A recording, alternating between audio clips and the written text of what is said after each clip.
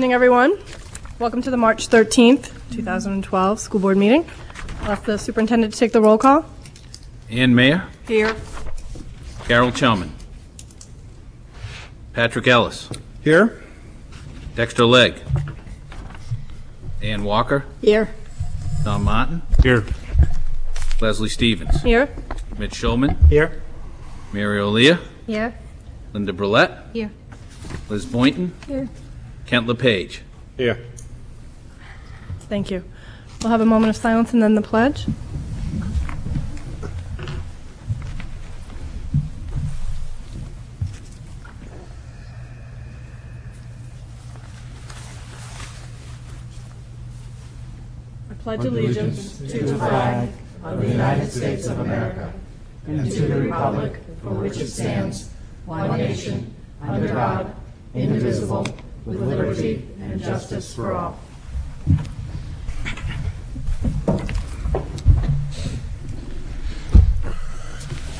All right, moving on to the minutes. So I'll entertain a motion to accept the February 14th minutes. So moved. Second. Any discussion? All in favor? Aye. Thank you. Uh, Motion to accept the minutes from February 16th. So moved. Second. Any discussion? All in favor? Aye. Aye. Thank you. No public comment. So we're moving right along. Superintendent's report. Yes, thank you. Uh, Members of the board, in your materials, you'll find the elementary uh, lunch menu for the uh, March, as well as notice to save the date for a presentation that'll take place on April 9th. Um, There'll actually be uh, an assembly that both the high school and middle school students will attend, and then community members and parents will be invited that evening to essentially hear a, uh, uh, a personal story from a fellow known as, uh, uh, it's called Ryan's Story. It's about Mr. Halligan's son, Ryan, who was a victim of bullying and then ultimately led to teenage suicide. So it's a very powerful presentation. It's being sponsored by Project Safety and Portsmouth Regional Hospital. Um, So uh, Karen Webb had sent that notice to you and asking you to kind of mark that on your calendar. She'd love for you to attend if you're able to. Um, You have a copy uh, from Principal Shea, uh, the most recent New Franklin Gazette, um, and so you can read about the various grade levels and what's taking place there, as well as the transformation of the school. Uh, It has a new paint job. It's now dynamic blue. Um, And so you can go and take a look at that, as well as a copy of the most recent board and administrator. I provided you minutes uh, from the Policy Committee's meeting held on February 23rd. And you also have a letter, I probably should have put this under new business, um, uh, making an annual request from the celebration graduation folks, looking for the school board's financial support.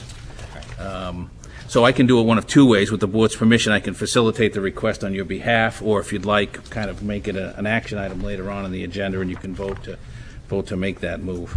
Um, Either way, Yeah, let's do it in business. Okay.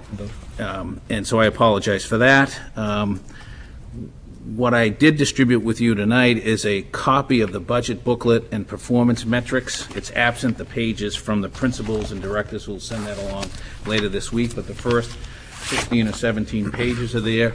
I want to share that so that if folks have any feedback, any edits, suggestions, edits, anything, um, it would be much appreciated. We're hoping to get that to the printer Friday or early next week so that we can get it printed um, and get copies out to, to uh, appropriate folks. So your read of that and any input you have would be greatly appreciated. To that end, I need a school board picture, and I need to take it this evening. So it's unfortunate that Dexter is not here, and um, neither is uh, Carol. But that's why uh, those of you who have perfect attendance will never miss a photo opportunity, right? So I, at the end of the meeting, I just asked that I get just the board members, you know, these seven of you, and we'll take a quick photo, so we'll at least include something there. Um, The other, the other piece to share with you is um, basically, I provided an article, uh, Tom Martin had shared an article, kind of the preliminary findings of the Gates uh, Foundation work on measures of effective teaching, or the MET project. But I thought I'd back up and share this initial article with you first, so you had some context for what's going on. It basically is an effort in many urban districts to really look at what constitutes effective teaching. Versus, you know, they look at uh, the widget effect sampling, and 99% of teachers are deemed satisfactory when they look at that measure. They're looking, folks are looking at connect effectiveness to solely state mandated testing and the limitations of that. This is a broader way to look at what constitutes effective teaching, and it's a research-based project, and so there'll be iterations of the report. At the next meeting, I'll share what the, uh, what the initial findings are, but I wanted to provide some context for doing this. Um, And I think it, it helps uh, with our goal and perhaps some of the work we'll even be talking about next week at the retreat. Um, Also, um, to remind you that tomorrow evening, you're being offered an opportunity to take a tour of the facility, the new middle school project. That'll begin at 5:30 out in the front of the middle school. And then at around 6:30, you'll go into the middle school library, I believe, and have a workshop session. Oh, the computer lab. Oh, that's right. Where there'll be a workshop session to hear about the technology.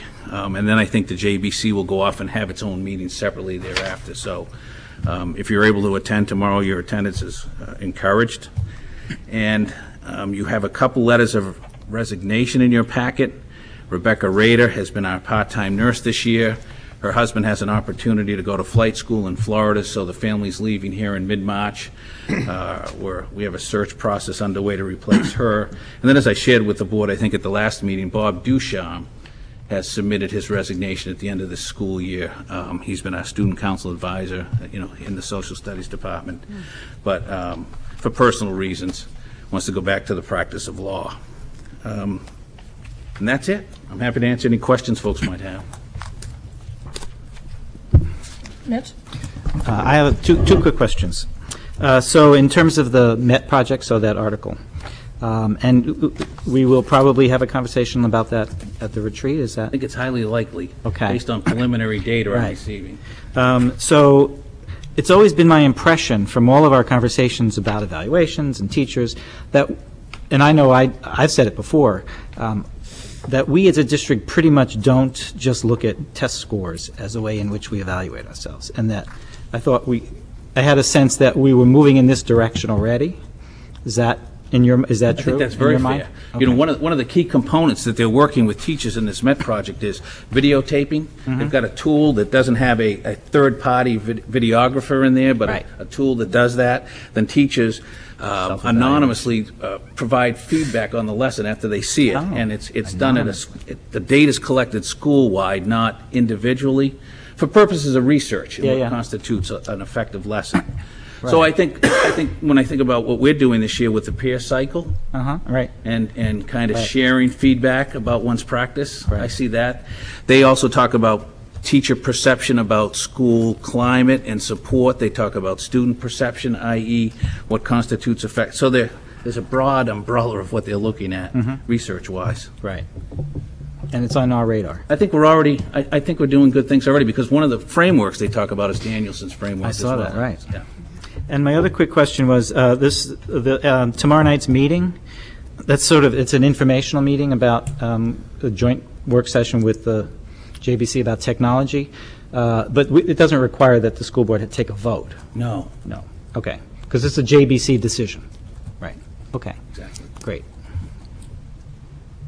Other questions? I had a quick one. Um, Do you know if um, Mr. Halligan is going to be at the high school, or if, maybe, John, you know, the middle schoolers, are they going to walk up there again like last time? Okay, so it's all taking place up there. And are parents able to join their students? They want to during the day or in the evening. We'll invite them to both. Okay, thank you. Anything else? Great, thank you. All right. On to district reports. Looks like Mr. Stokel, you're up first this evening.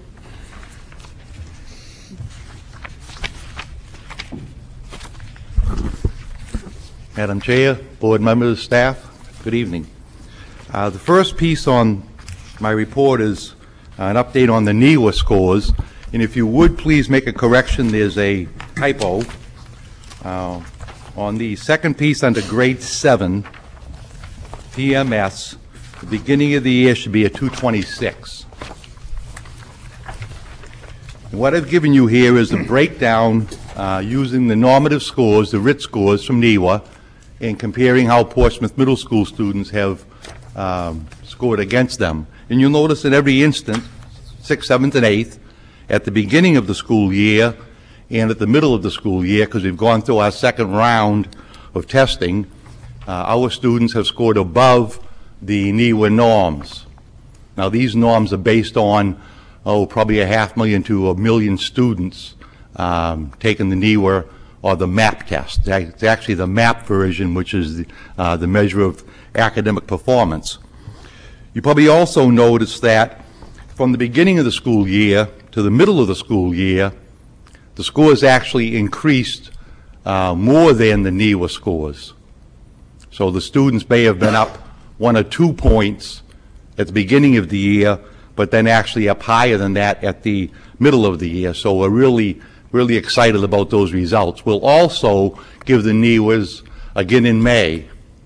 Uh, and what's really neat about these is we see a whole different attitude from the students taking these NWEA tests than we do other long, drawn-out uh, assessments. They take about an hour, and when the students took the NWEAs in September, they were actually given a goal, uh, every single student given an individual goal of increasing by two points, some students two points, others maybe 10 points, depending where their first score ended up. And as they were taking the test again in January and February, the first thing they wanted to know, because their score comes right on the computer screen as soon as they're done with the assessment, the first thing they wanted to know from their teachers was, did I make my goal? Hmm. So the kids seem to be really excited about this goal setting, and am I achieving that goal that I set in September? Uh, the other nice piece about it is that immediate feedback. They're not waiting three or four months to get their scores. I think sometimes when when students have to wait three or four months, it's almost like out of sight, out of mind. Oh, when did we take that, and so on. Whereas with these, um, again, it's right there at the computer, and every student's taking a different test because it's basically set up for their ability. If they're getting all the questions right, then it's going to give them uh, more challenging questions, either in math or in reading. And if they're having some difficulty, then it's going to gear it down so they have some success. So it's not like every student is taking the same exact uh, assessment.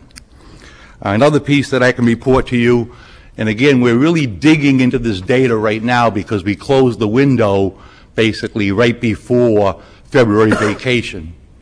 And once you close the window on the testing, then I can order the reports and really dig into the data. Now, the teachers get their information back for their particular classes the morning after the kids have taken the test.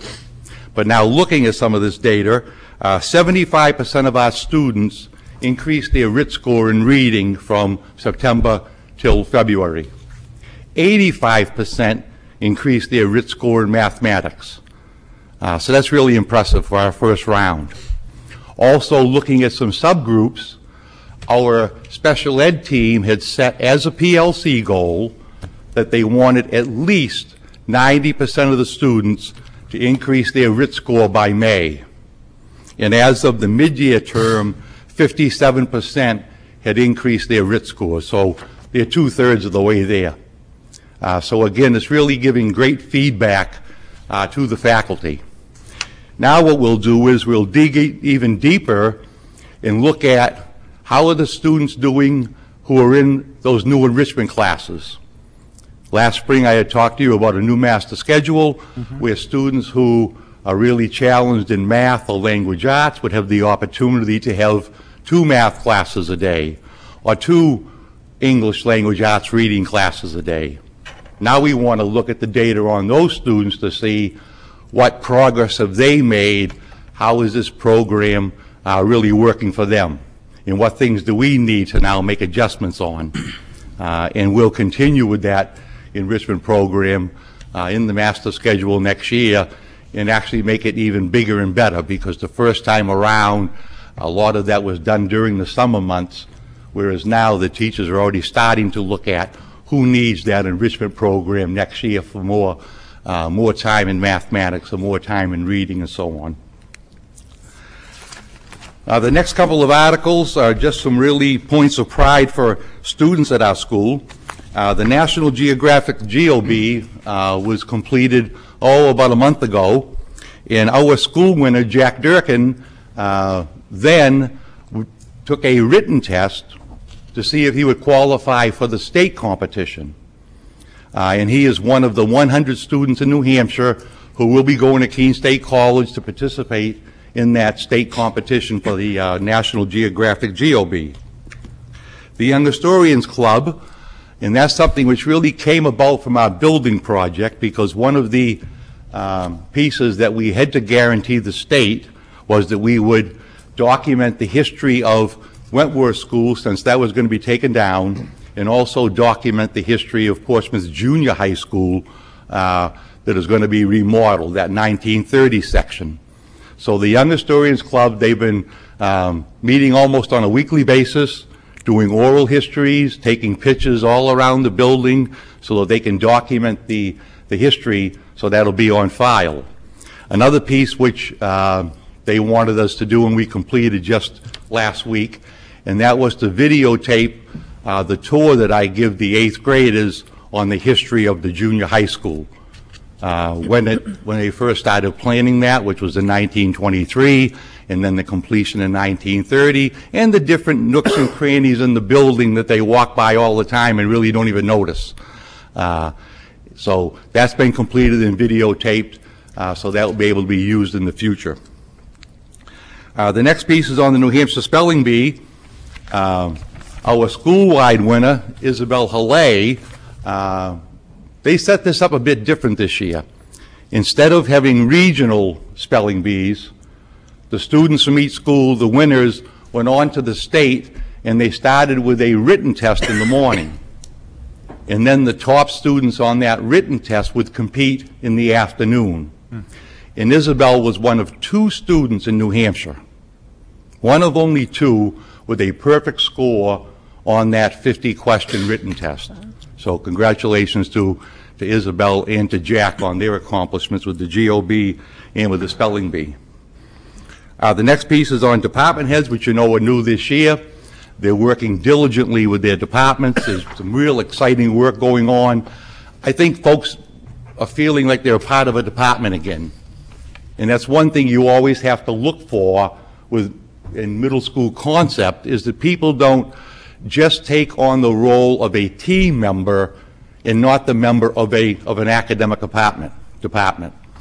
Uh, So people are meeting, you know, on a weekly basis with their departments, really aligning curriculum, doing a lot of work with the Common Core standards in math and reading. And this Friday, which is the system-wide teacher workshop day, they'll actually have six 12 department meetings, some at the middle school, some at the high school.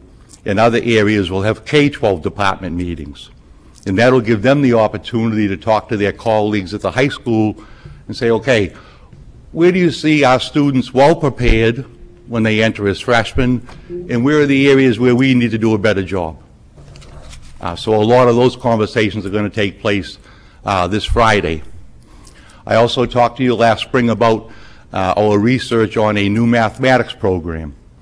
Uh, So the math department is really doing double duty. They're really into overtime on the research that they're doing. Um, They're real excited about some of the different pilots they're using, and hopefully by the end of the year, we'll come to some decisions as to which way we're going to go with that program. The idea is, we want all seventh graders to be in a pre-algebra program, and we want all eighth graders to be in some form of an algebra program.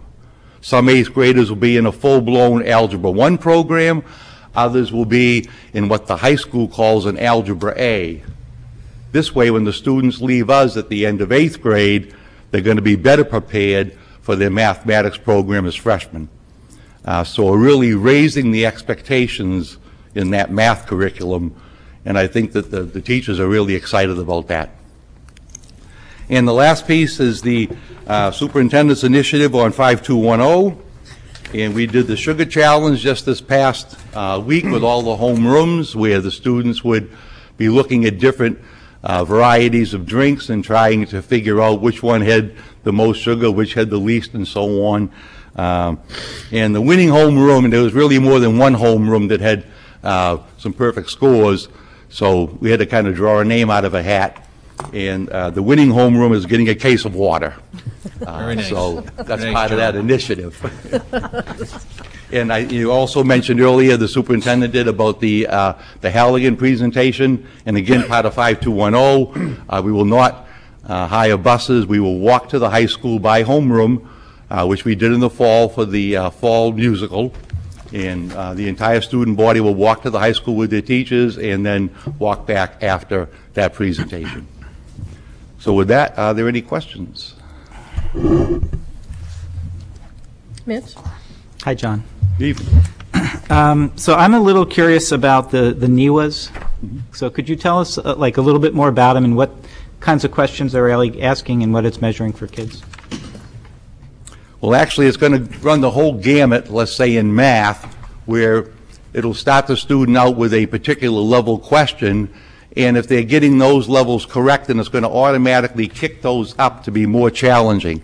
So students who are in our algebra program, they're going to be moved up immediately into a lot of algebraic question, uh, equations and so on. Other students who might be more at the general laugh, uh, math level, they'll have some questions on algebra, but not as challenging. The test is actually set up so students are typically going to get half of the questions correct.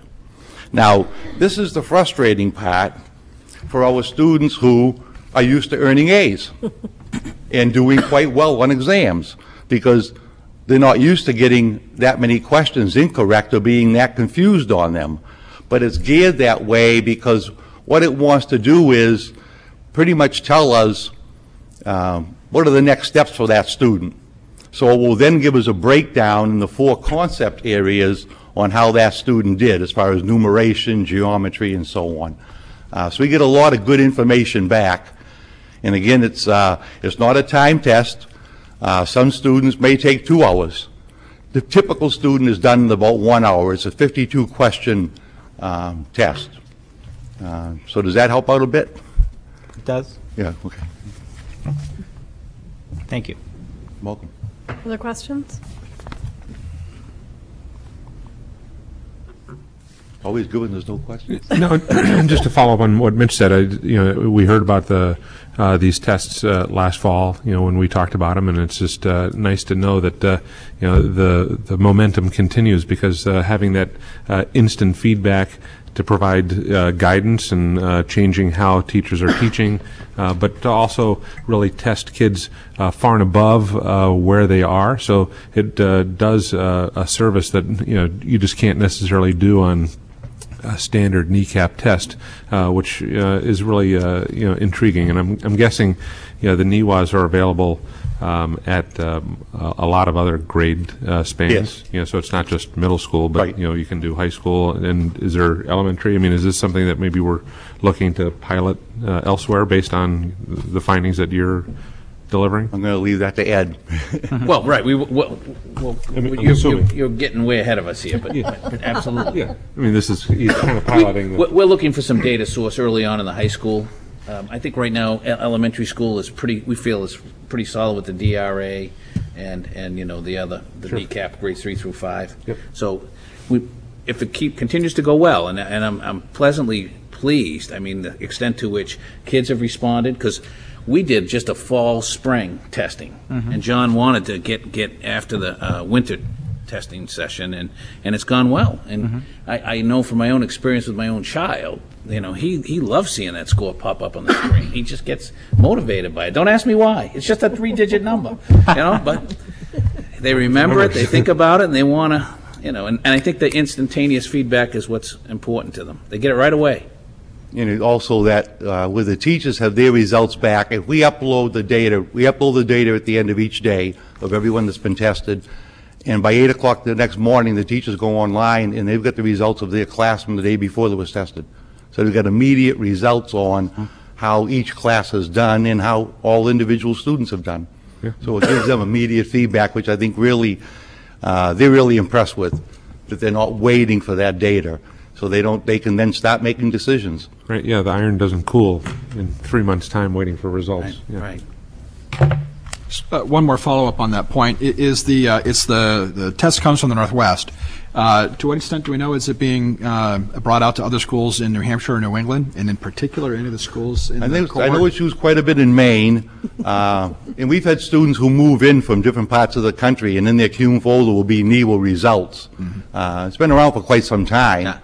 It, it, it's, it's used in all 50 states. Um, and there's a, there's a big following in Maine, but I think as well in New Hampshire, Steve, to, to a large extent. Um, I don't know, Greenland, uh, do the folks in SAU 50 use the test at all, and I Ann? think we have taken it, but we don't use it as a data source at this point. We're still using NECAPs and, So you get the RIT score, and what the, there's, a- there's what they call a DesCartes continuum, which is to say, when you're in a 10-point RIT range score, you know what's secure in terms of skills, what next steps are, et cetera, and where they need to kind of hone in. So I think you can take a class and look and see where they're, you know, the reports they get, John, talk about low, medium, average, you know, so you can differentiate for instruction. You, you can kind of group kids for, for instruction. And is, Very the- helpful. i- is there, um, is it productive to look at these scores um, and the NECAPs at the same time? Um, e- Either They, to they've done see some, flaws they've or- done some testing on, some analysis of that, and, and you can look at the school's, uh, RIT, and it can, kind of can predict whether somebody will be proficient on the NECAP exam. That, that kind of correlation has already been done. Okay.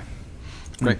And I think for that student who is a challenged writer, um, I think they have a, a better chance on the NWEAs Right. of scoring well. Um, Because again, it's, it's a multiple choice. Um, They can work on their questions on scrap paper and so on, but it's really a multiple choice uh, test. Um, So they're, they're not spending hours writing. And for some kids, that's a real challenge. And we see that, and we know from the NECAPs, in order to score above basic, you have to do well on those constructed response, which requires writing. If you don't do well on the constructed response, then you're not going to score proficient. Uh, even though, you know, you may have that information, but if you can't put it from pencil to paper, um, then it's not going to show. Uh, whereas on the knee was, um, that will show. So we are seeing some students whose, you know, their RIT scores um, do not align to their NWEA scores, I mean, their NECAP scores. You know, the other neat piece about this is, uh, at the end of the testing session, after we order our reports, we'll print out a report on every student. So last week, when we mailed home the NECAP results, we also put in the envelope the ANEWA results from the fall and the midwinter testing, which actually showed a graph to the parents, which was a quick visual. Did my child increase? Did they stay level? Did they go down? And so on. So we really mailed home two sets of data, one NECAPs and the other one the NWEAs, uh, with an explanation about the test and so on. So uh, it gives nice feedback to the parents also. Uh, Ann, and then Mitch? I, I just had a logistic question, John. How, the students, how did they, um, did they take the test in the lab? How did they all access the computers They actually- simultaneously? it- We actually take about three weeks to run the entire school through, because they'll take it right in the computer lab. Okay, so you rotate the kids in by class Mm-hmm. to take that, What we'll typically do is, a math teacher, uh, they'll run their classes through in about a day and a half, because again, where it's not timed, uh, some students will, will want to take more than one hour. Uh, We don't say to someone's time's up, you have to, you know, go off from the, the test. We want them to complete it. Uh, So let's say a typical eighth grade math teacher, they're going to take probably a day and a half in the lab to run their classes through the testing. And then you have the, they'll also go in for their reading and so on. So it's about a three-week window to run the test and do the makeups. Uh, The neat thing is, of course, students are not taking the same test, so there's no concern with anyone sharing questions and things like that. Uh, When we move into the new facility, where we're going to have some mobile labs, then we'll be able to do even more than just the computer lab, because we'll also be able to do it in the team areas uh, using other devices, you know, because it's not something that requires a printer or anything like that. The score comes right on the screen, and once you back out, then that session is over and it's ready for the other students. The only time is for the, uh, the teacher then to set up uh, the computers for the next group coming in, basically. You know, So it won't take as long in the future when we have more uh, mobile devices in, in different sections of the building, and the building's completely wireless. So I was just curious, is there any um, relationship between the end of the seventh grade and the beginning of the eighth grade in terms of what they're testing and measuring? Is it a gonna be- measure of There'll be different norms. Uh, If you notice here, the norms from the beginning of the year to the middle of the year change. Right. So what NWEA has done, they've, they've given us the 2011 norms. They'll come out with a new set of norms for 2012, uh, which you would look at in September. We're talking right now, we wanted to do these in September this year for baseline data. And we're doing some talking about uh, the amount of testing with the NECAPs in October. Uh, Is that too much for the students right at the beginning of the year? And is it something where we want to do mid-year and spring, use the spring results to set goals for the following year with the students? So that's a conversation we're having right now and really haven't made a final decision on. This year we did because we wanted to jump right into it and get some baseline data. Kent? Hey, John. Evening. Something not in your report that, now to sort of branch out. First of all, I'm glad that you're doing that, uh, or having that individual come talk about bullying and, you know, the hard results of, you know, suicide and so forth. And watching the news in the last couple of weeks, um, and hitting near home in Walpole and hitting uh, out in Ohio, same age bracket that you have. Uh, We've talked in the past, and it's a hell of a time where, you know, there's a big developmental change in students, uh, physically, mentally, uh, and body-wise. That, so I'm going to ask you two things. One is, what, what do students talk about? Because with today's media, they know about the shootings or the incidences at these schools probably before the news almost. So my first question will be, what do they say or what do you hear? And what is your feeling about that side of the emotions?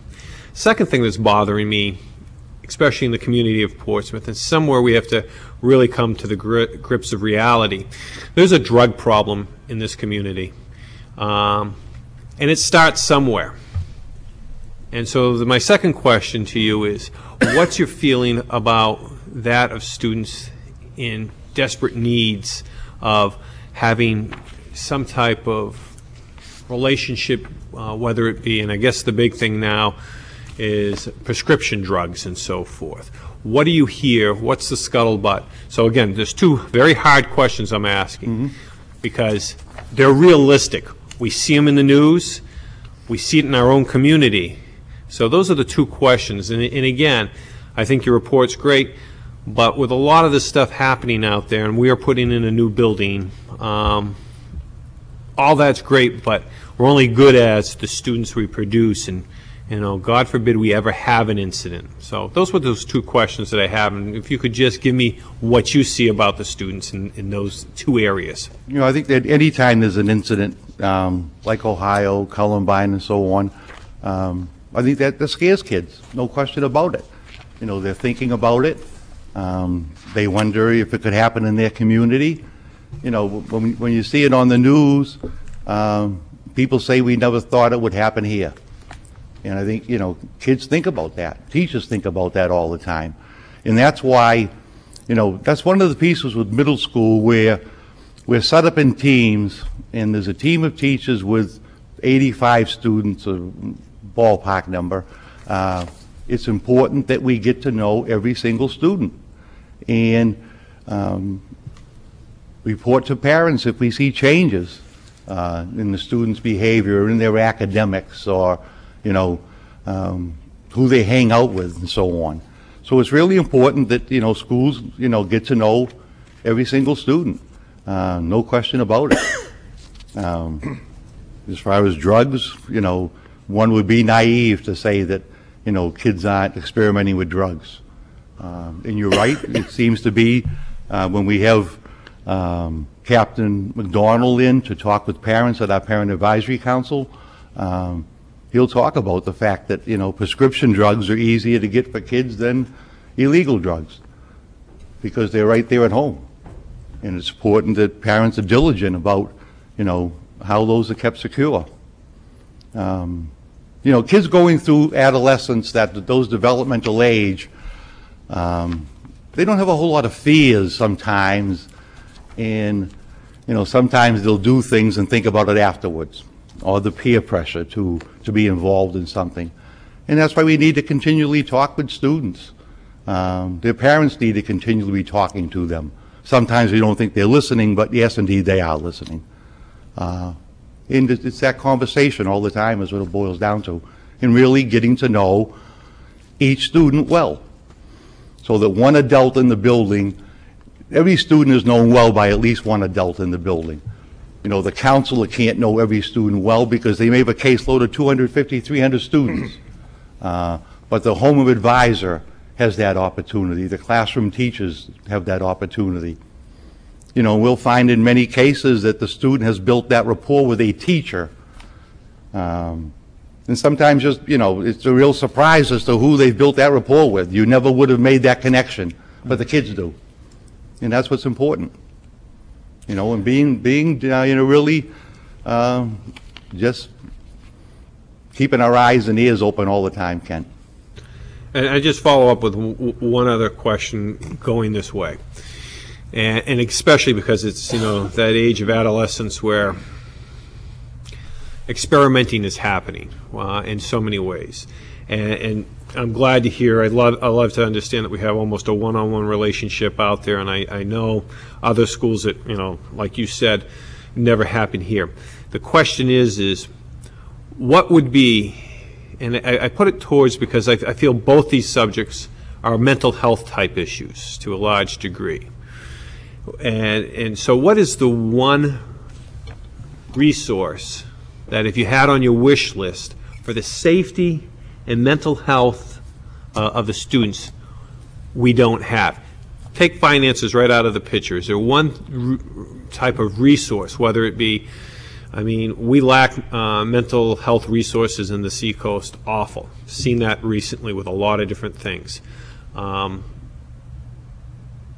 So if it was just one thing that you could have a referral or, you know, program, is there something out there that you, you think that we could use to help lower the risk of drug experimental and higher the safety of students so they don't feel alienated or, or like any one of these things we read in the news. You know, this may, this may sound um, a bit odd, but uh, we need more time, is what it boils down to. Um, As you know, test scores are important. Instructional time needs to be sacred. And because of that, we don't have the time, let's say, for all of the assemblies, the small group work that you might want to do, because you're always taking away from something else in order to do that. Um, So I think we really need to look at um, the school day, the school year, so we have more time with kids. So you can have programs like that and not take away from the math class or take away from the English class, because that's typically what you're doing. I mean, we're going to the high school in April, um, and what that means is we're pretty much going to eliminate four classes that morning. Um, That's worthwhile, no question about it. But it's not something you can do on a regular basis, because again, you're taking away from instructional time. Uh, We have a nice relationship with Seacoast Mental Health. We give them uh, space in the building so the kids can have their counseling right there at school. They don't have to go after school, because a lot of times, that's an easy thing to skip after school. Um, So having more folks available, you know, through those agencies, and again, using the school space for those counseling, uh, counseling sessions and so on. But I think one of it, one of the big things is time, um, so that kids, you know, we increased the length of the school day this year by 20 minutes. We're still out at 2:20 in the afternoon. That's a lot of free time for adolescents before their parents get home in the afternoon, 5, 6 o'clock. Some parents are home until 6 or 7 because they're commuting. Um, And that's a lot of free time. And adolescents, when they get together, don't always make the best decisions. They're adolescents, and they have to learn from that. Uh, So, you know, more after-school programs. I know we're in the thick of writing a grant right now for after-school programs and summer programs for kids, uh, to make more things available to them, more opportunities. I think the more time that they're spending in healthy activities, then the less need for these, these other um, crutches.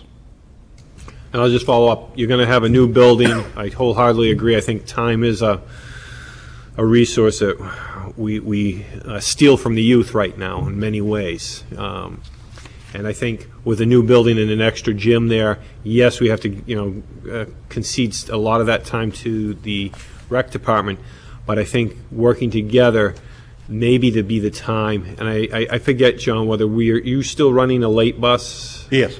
And maybe we have to look at some other type of transportation so that nobody feels left out, that if there's an evening program using one of the gyms or something, again, keeping youth mentally occupied, I would hope, with the new space that we have, because time and space is probably the two elements I would hope would uh, lessen the risk and maybe develop stronger foundations for the kiddos. No, I think with, the- with now with the, with the two facilities there, uh, we can offer even more and more intramural programs, uh, health programs for kids after school. Um, So the more kids, you know, can take advantage, the more we get the late bus.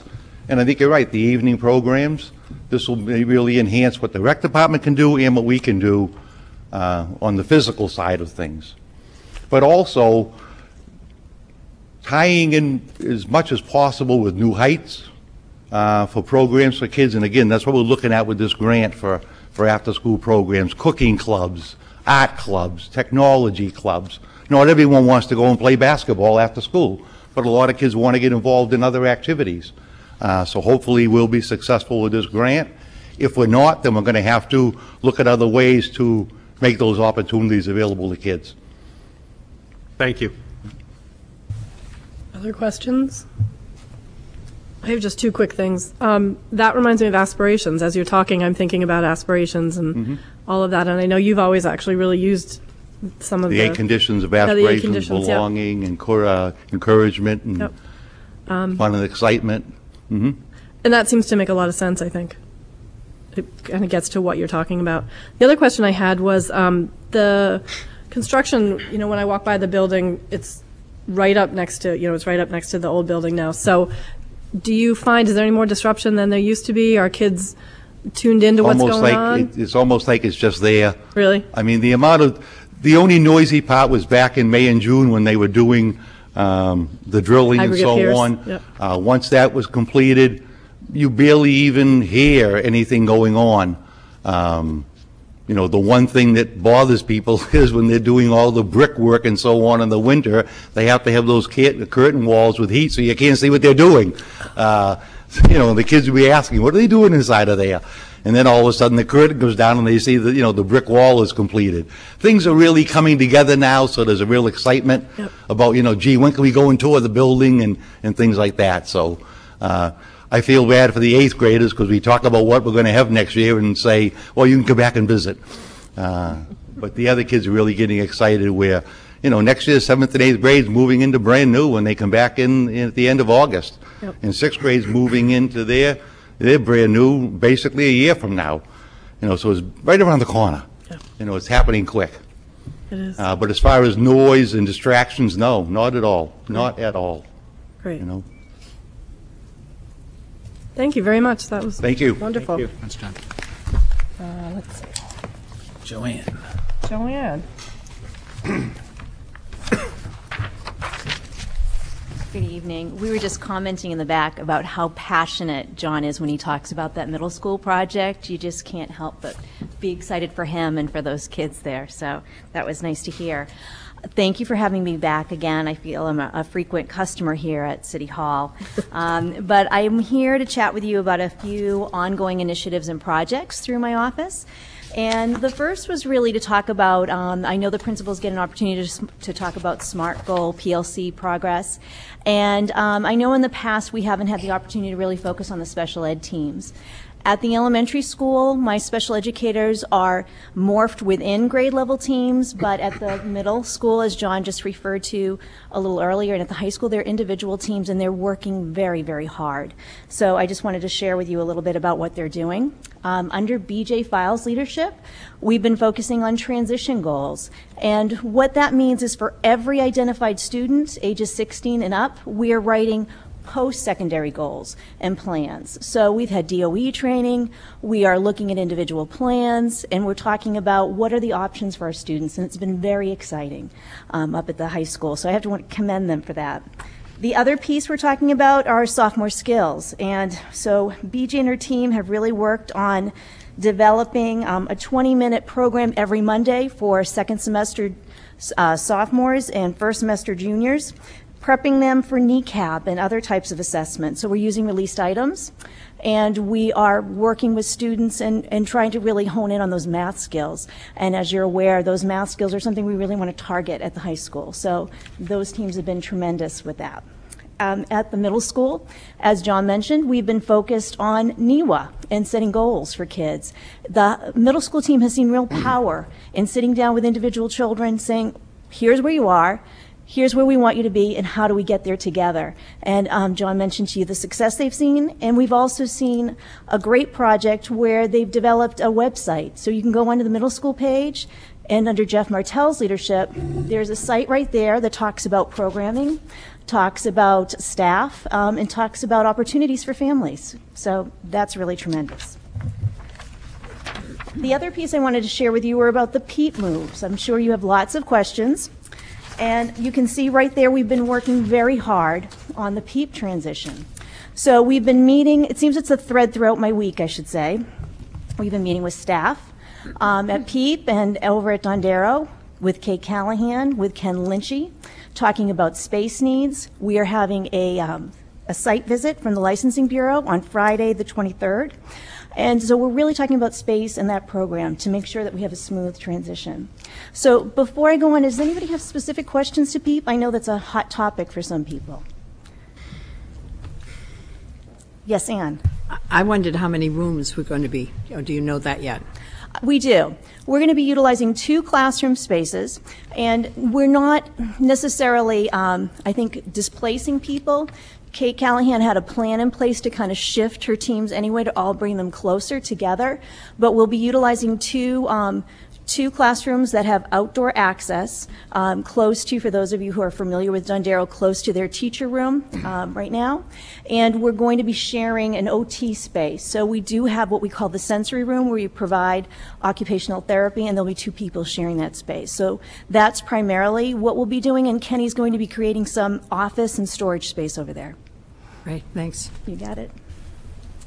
A follow-up on that is the, um, uh, the teacher's room is not going to, to move, so that'll still kind of be in the middle? It will be. It will be. And what we find, Patrick, is because of the location of that teacher's room, it's not necessarily the hub of where teachers are having their lunch and sharing their time. There certainly are a number of people, um, specifically paraprofessionals and some support staff who utilize that space, but primarily teacher teams seem to gravitate towards their wings for um, for their lunch or for before and after school kind of uh, times to touch base.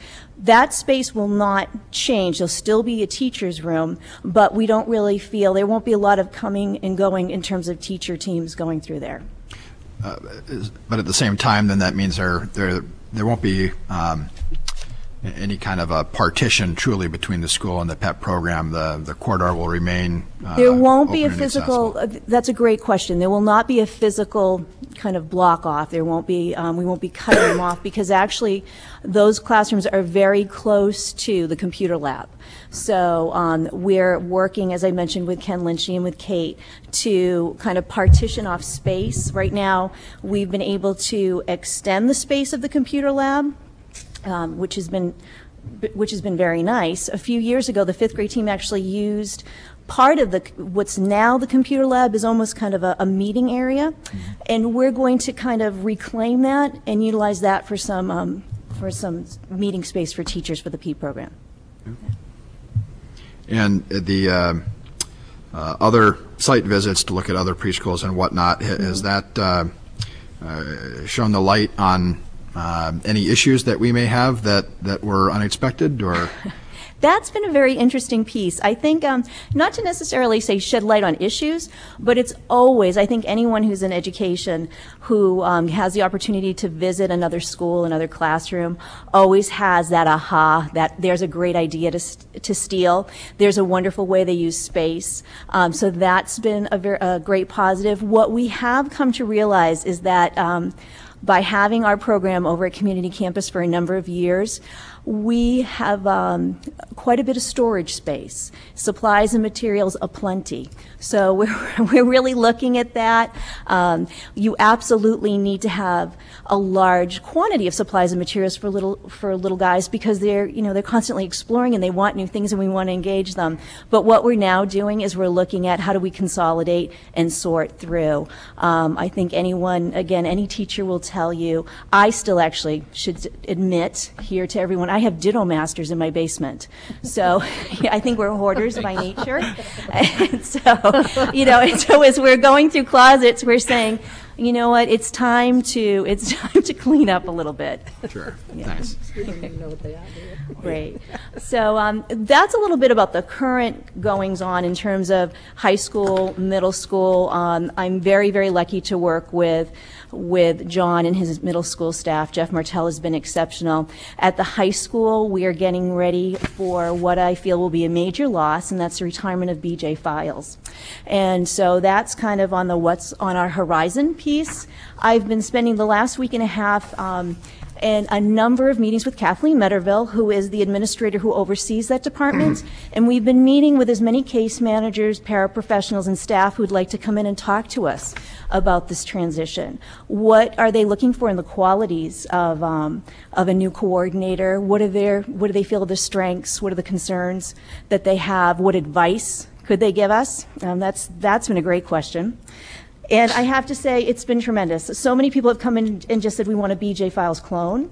So that's a testament to the work that she has done, and she's been a gift to me this year, um, a year of transition for sure. One person described how she literally came in, uh, this was a paraprofessional, who said, it was a long day. And BJ came in and said, I'm going to help this child need, needed toileting, a high school student. And BJ pushes up her sleeve, gets in there and helps out. Then at the same time goes to a meeting. So she's just a tremendous out of the box thinker and she'll be missed. She'll be missed. Summer programming is on the horizon. Special ed, Title I. You've got mail. We've talked about Learning Lab. We're in the process of planning that. in addition to, um, we'll be having an ESOL on-site visit from the state at the beginning of May, and they'll be looking at programming. And we're looking at um, RAVE-O training for a reading specialist, which is a reading intervention for intermediate grades.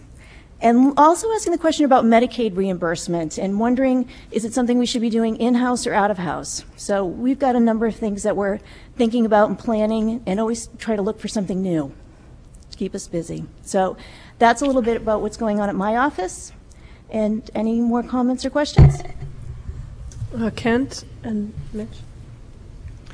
And you catch my ear um, there at the end there in regards to, because I've brought this up at least four or five times on my time on the board in regards to Medicaid reimbursement, whether, it, well, you know, I'm going to say, I, I, I believe that we've missed great opportunities.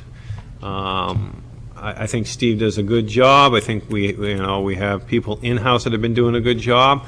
Uh, one of the problems is, is we don't goddamn document it well enough in some areas.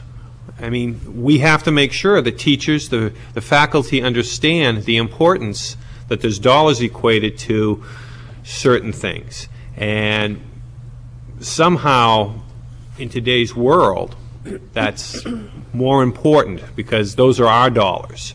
And I'm not sure, I'm hoping maybe if, if you, if you're looking at this, and, and, and I- I truly believe there are thousands and tens of thousands of dollars that could be left on the table at times. Um, where did this come about, and, and what? Uh, I know there's a number of companies that do it because I've worked with them in the way past uh, on the um, outsourcing side. Well, I appreciate, it, and I know that this is near and dear to your heart, Kent. So um, I knew it when I mentioned it that you would, you would have a question.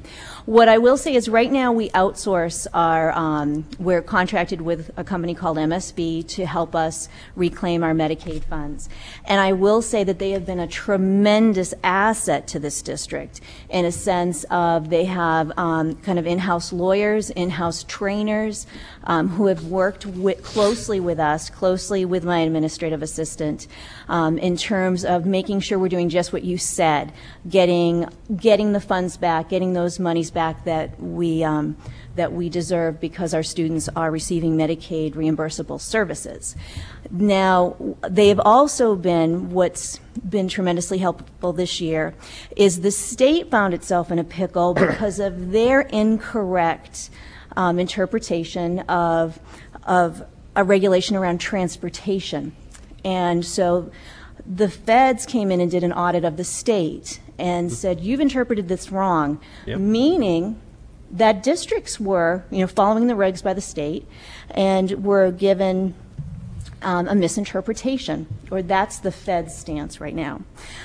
We wouldn't have, I think, navigated those conversation, conversations as well without the support of MSB. They worked with, all, with a number of districts and came back and said, here are the reasons why we're saying that we deserve this money, you know, wrote, writing letters and things of that nature. I think that would have been difficult to do in-house.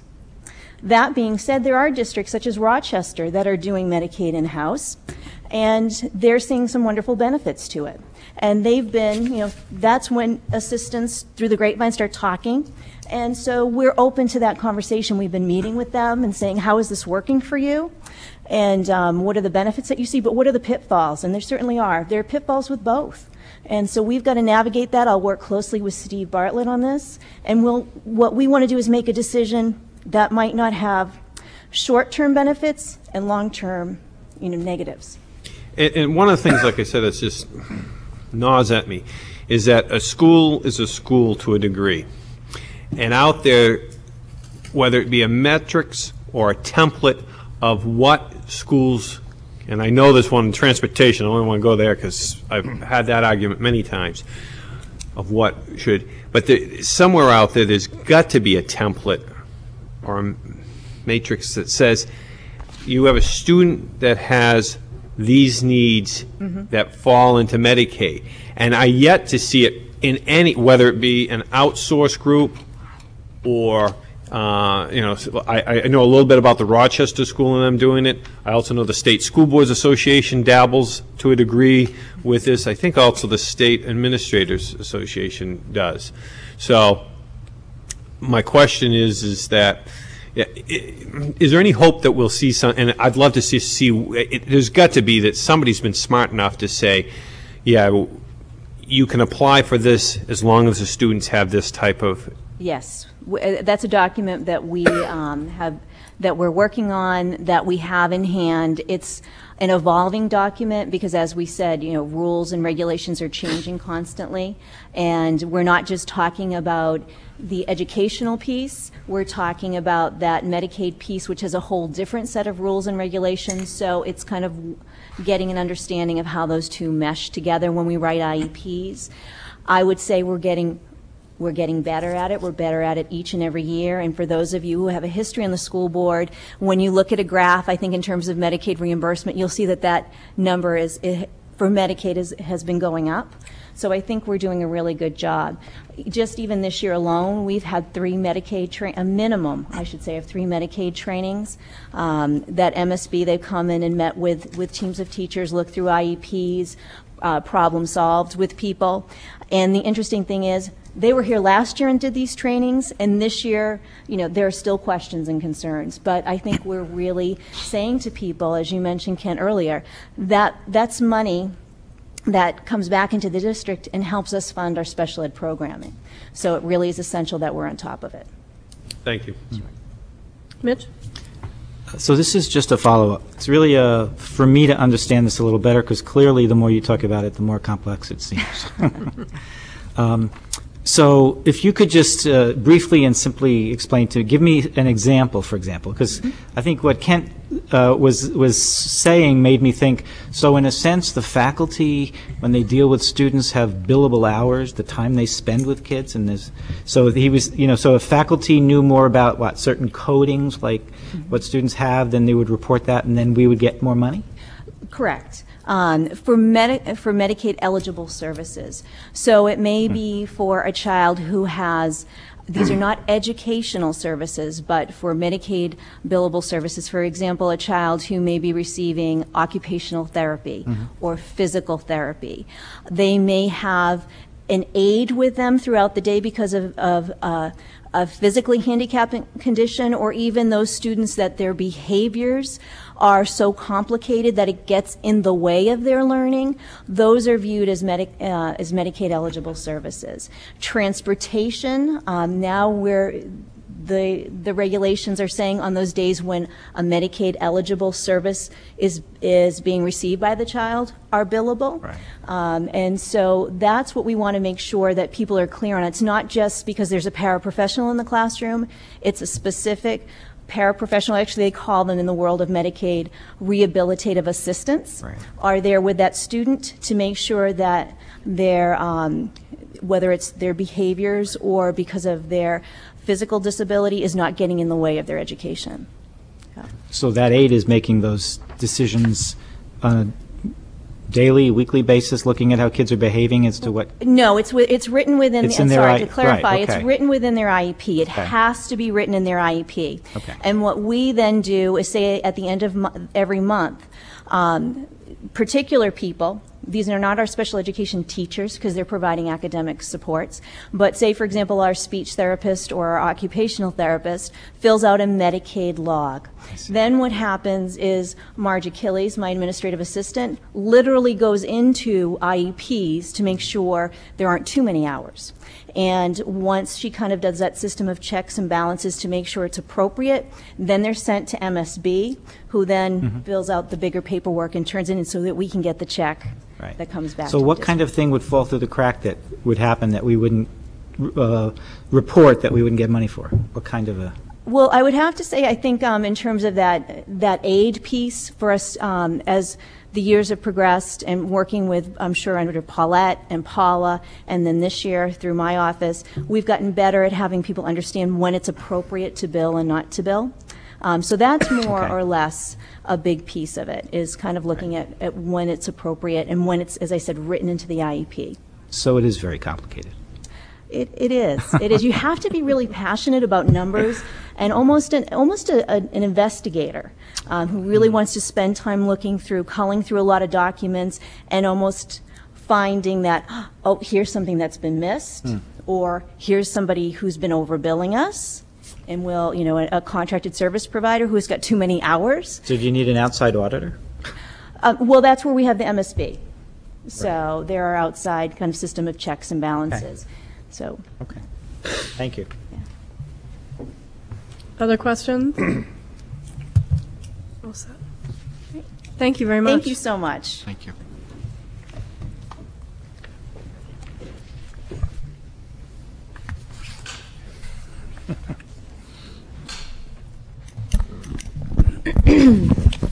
Good evening. Hi, Nancy. I love reflection here. I have a whole hour. and I don't think that ever happens in my job. I, you know, I just think of what I could possibly do if I had that every day in my job.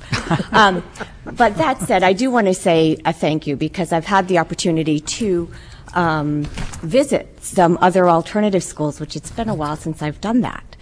And in the course of my conversations, I just have to say thank you for clarity of purpose in regard to um, college and career ready.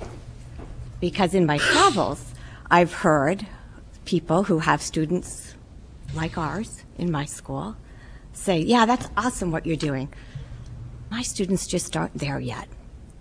And I think about how far we've come in our own district in the past even 10 years um, to be where we're at now in regard to really um, having our mission apply to all students at Portsmouth School. Um, I really commend you all for that, and I um, didn't think I'd thank you for such a clear mission for me, um, but uh, it's been very helpful.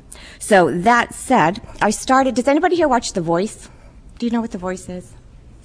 Um, with that clarity of purpose and mission, um, I started my morning because it is about balance with a quote from Jamar, who um, was a winner last night, who was a young man who was very challenged by life's issues, I guess.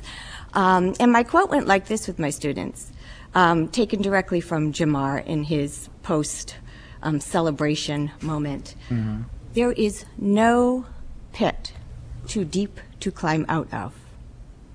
You can live life. You can get better. You can do better.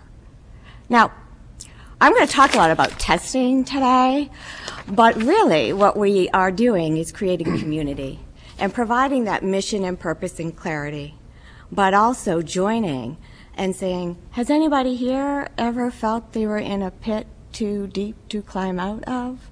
You know, as we all raise our hands. Um, Because we're not alone, you know, and we don't get, we don't get to be college ready and career ready alone.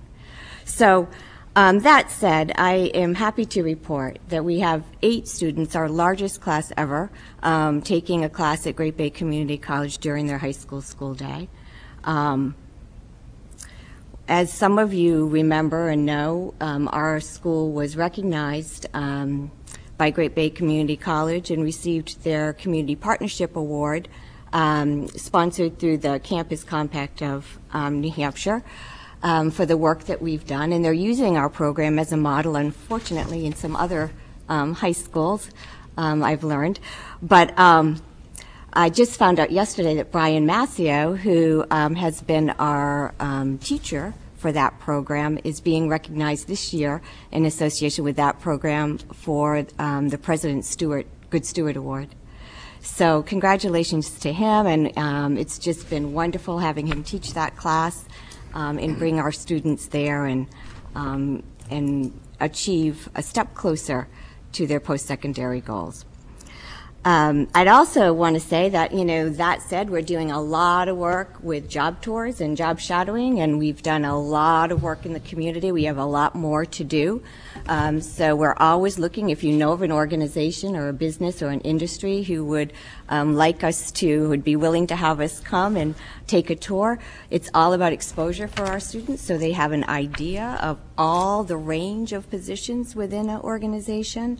Um, some of the ones that we've visited so far, um, Seacoast Media Group, uh, the water treatment plant, Portsmouth Naval Shipyard, which was amazing, um, Wentworth by the Sea, Portsmouth Hospital, New Hampshire Works. We've done a lot. We're expanding our relationship with Great Bay Community College also. Um, the Great Bay Community College Business and Training Center um, has um, done an amazing job with um, putting a program together to really help young adults um, and some older adults with their resume building and um, employee soft skills, um, providing mock interviews for us for our students. So um, we really appreciate our partnership with Great Bay Community College. It's been um, a really dream come true for me and for my students. That said, we have a really awesome core program, but it's never enough. And in these times, for the most disenfranchised part of our students, which is who is at my school primarily, um, it's not enough. We are being squeezed by the reduction in youth services.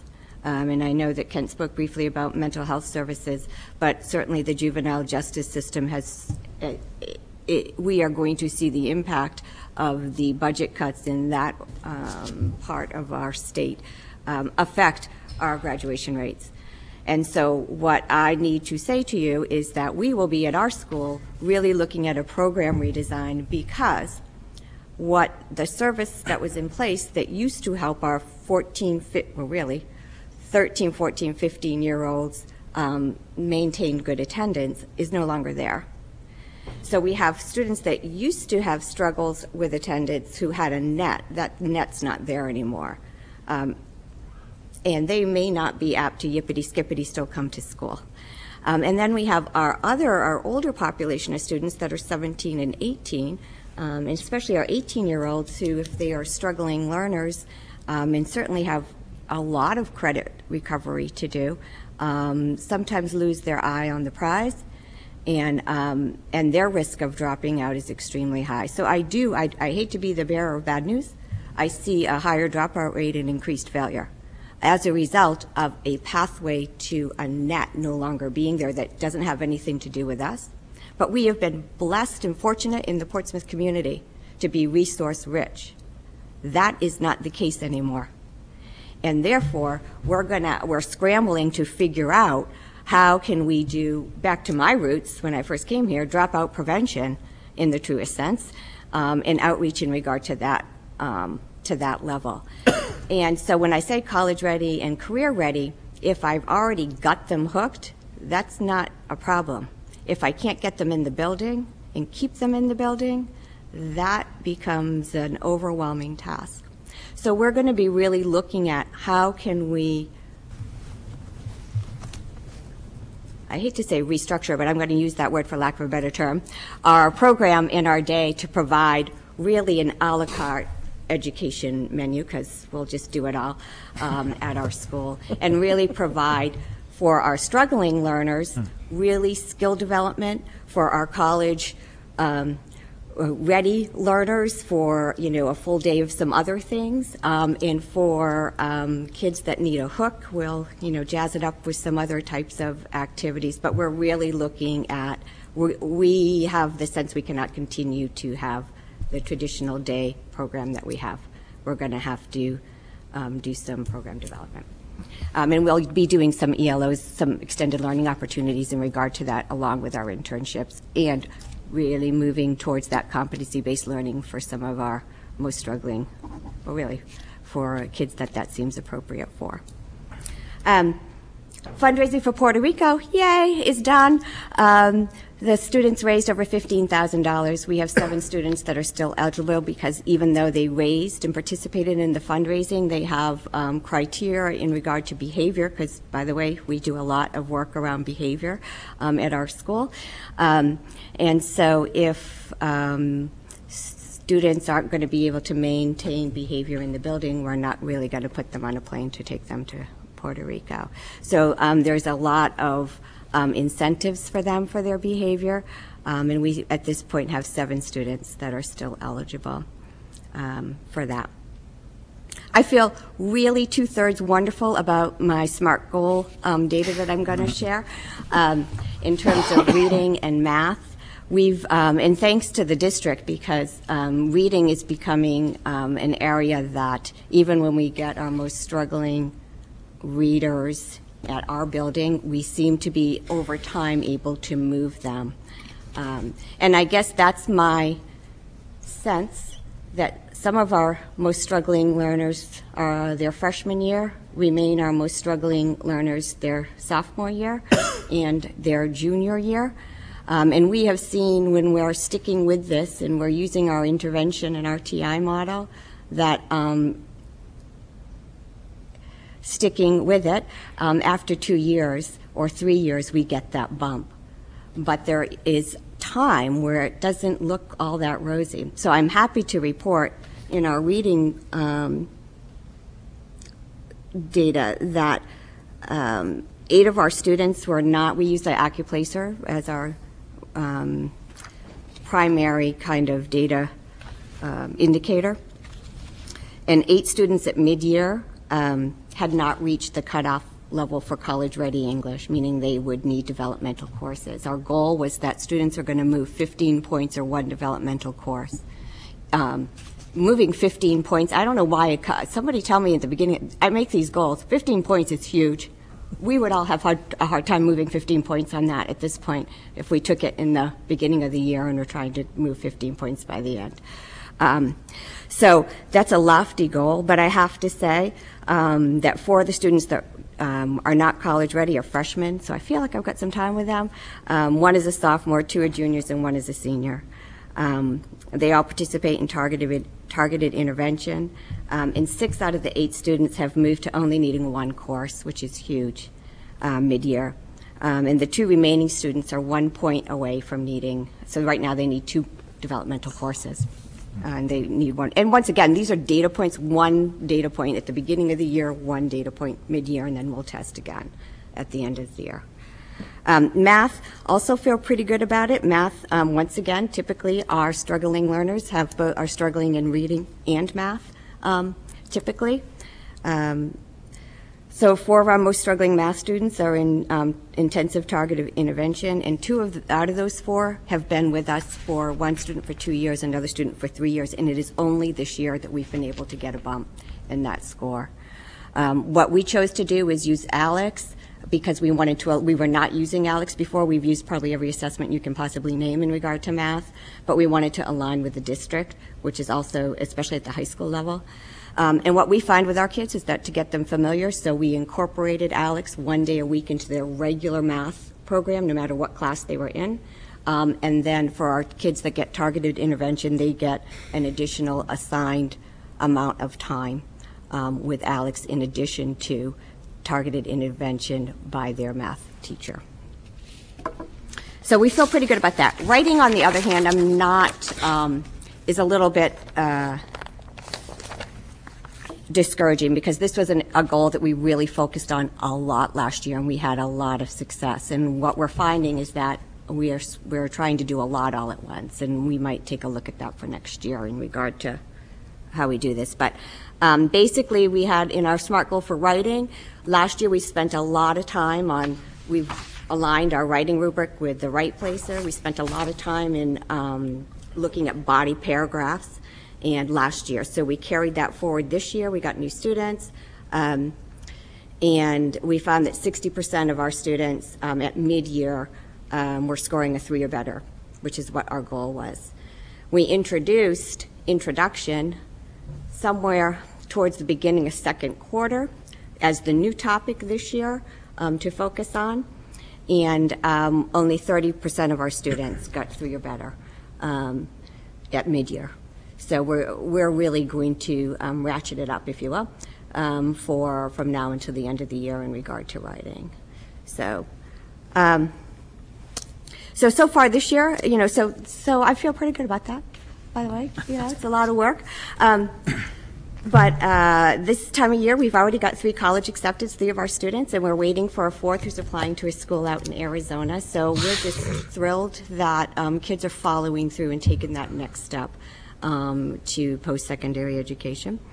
Um, as you know, we did a huge fundraising effort in the fall um, with the Lister Leaf Busters. We're doing a mini um, fundraiser this spring, not to support uh, the Costa Rica trip, um, but to uh, uh, help uh, the field trip kind of end of year for students um, that don't attend the Costa Rica trip.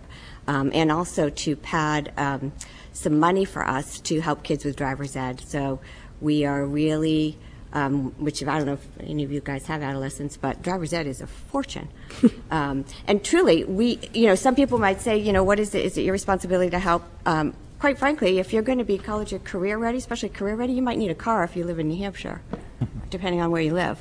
And so having a license, we like our kids to drive with licenses as opposed to not. Um, you know, so we um, truly uh, support driver's ed and support kids um, having that rite of passage. Truly, um, it's also a safety issue um, when folks don't have a license and. So we are going to be doing a mini, just a 10, because we're going to do a whole school event, so kids will rotate through it, and we'll do a lot of work around work ethic and, um, you know, that type, that, those kind of skills when we're doing that project this spring. So if you know people that need a spring cleanup, just let me know. Everett Kern already stopped me out there. Um, so we might be doing some community service for him too. We're having a huge yard sale, March 24th, indoor yard sale, once again, um, pure fundraiser. Um, feel free to donate or to stop by. And then our students um, will be heading off to Puerto Rico in um, May uh, for a week. And um, hopefully you all will be able to at least um, see their presentation um, uh, when they come back. So it's been a busy year. Uh, it's hard to believe it's March, but um, it's been good, I have to say. So, any questions about any of that? Uh, Mitch? Thank you, Nancy. Um, So, just remind me, um, how many students are in like, the academy? Right now, we have 25. 25. So, and I think, is it 12 or 15 that are Portsmouth students? I forget. We have, no, we have right now 17 Portsmouth students. 17. That's higher than in the past. Yeah, and you know what? That's crept up, though, Mitch, for the past couple years. It has? Um, Okay. Yeah, I like that we have our own students. Yeah, I agree. Um, so I would just say, you know, I have a friend who uh, credits the, the academy for um, their daughter graduating from high school. Oh, well, that's, you know what? so my question really to you is, because it, um, what in what do you think would happen to students that that you have regularly if the academy didn't exist? Well, I don't think they, I think a majority of them wouldn't graduate, or the district would be paying for them to go to another school. I mean, it, I guess it depends on, I mean, I don't think, um, I think the Portsmouth School District has come up with a school within a school with our program. And for a certain segment of the population, it works really, really well. Um, And you've been successful. We've, we've been successful.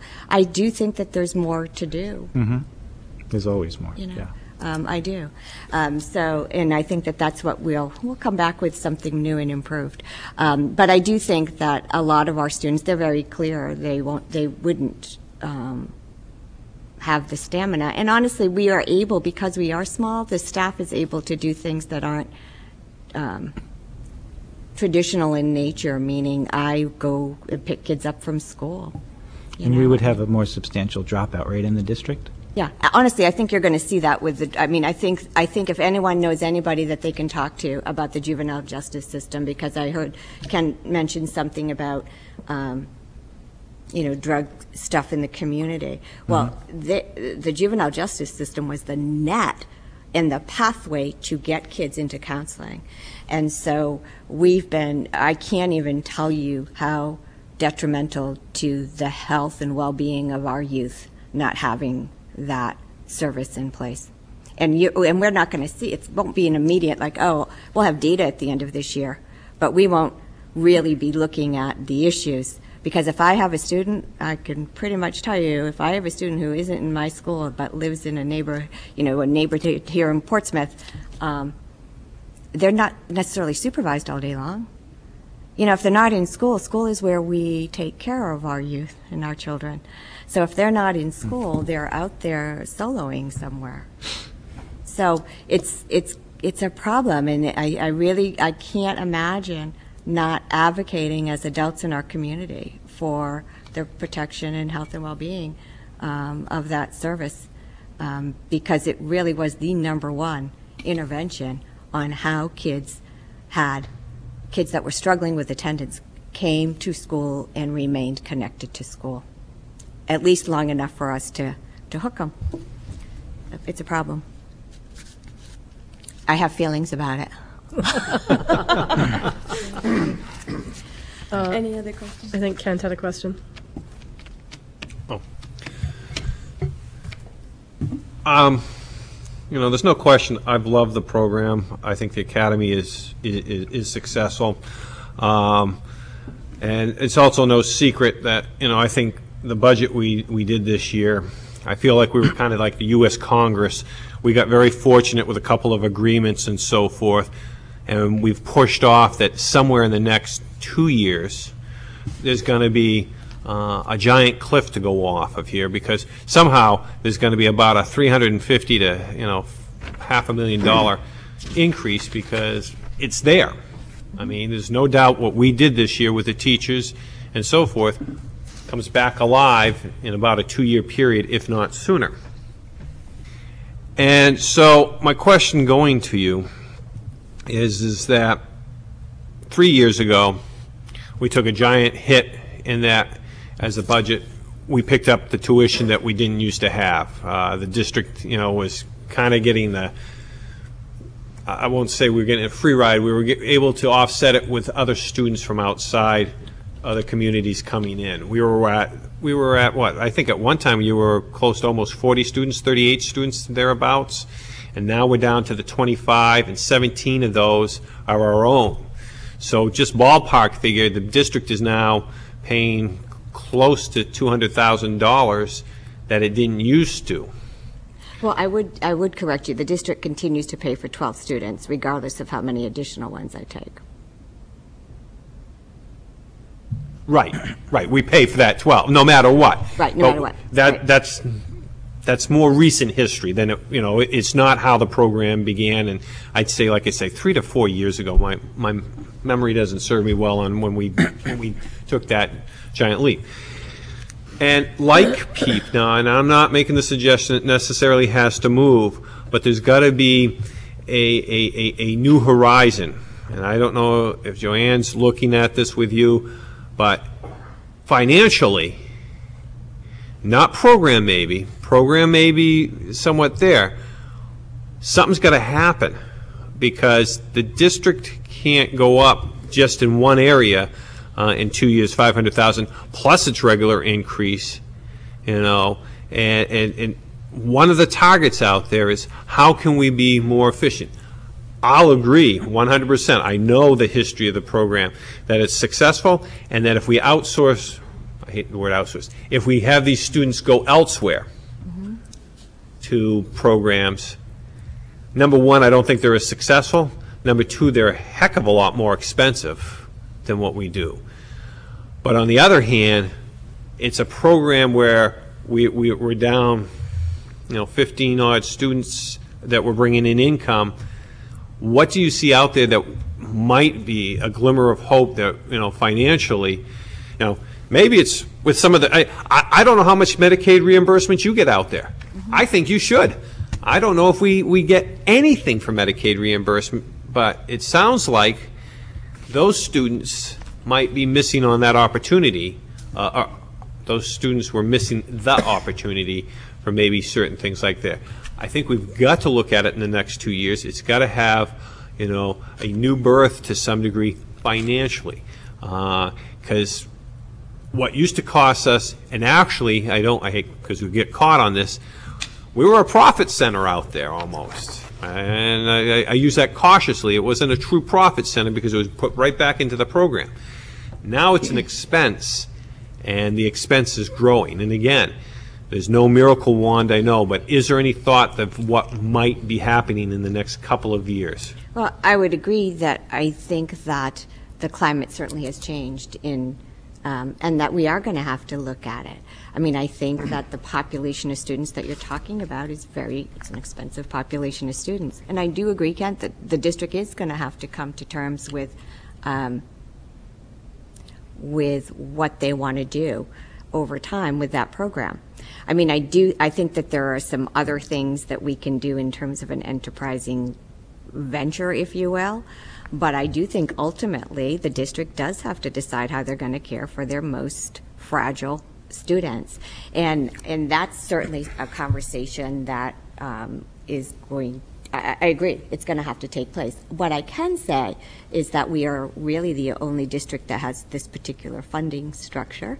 Um, and, um, and that the heyday of this funding structure, where the expectation was it was going to be um, a profit uh, earning venture, is probably, those days are probably over, um, where you're going to make money off of a program unless you, unless the program changes. And that means other kinds of commitments, which I don't know whether this district would be um, interested in making. So, you know, I do, I agree with you. I think that it is, um, it is what it is.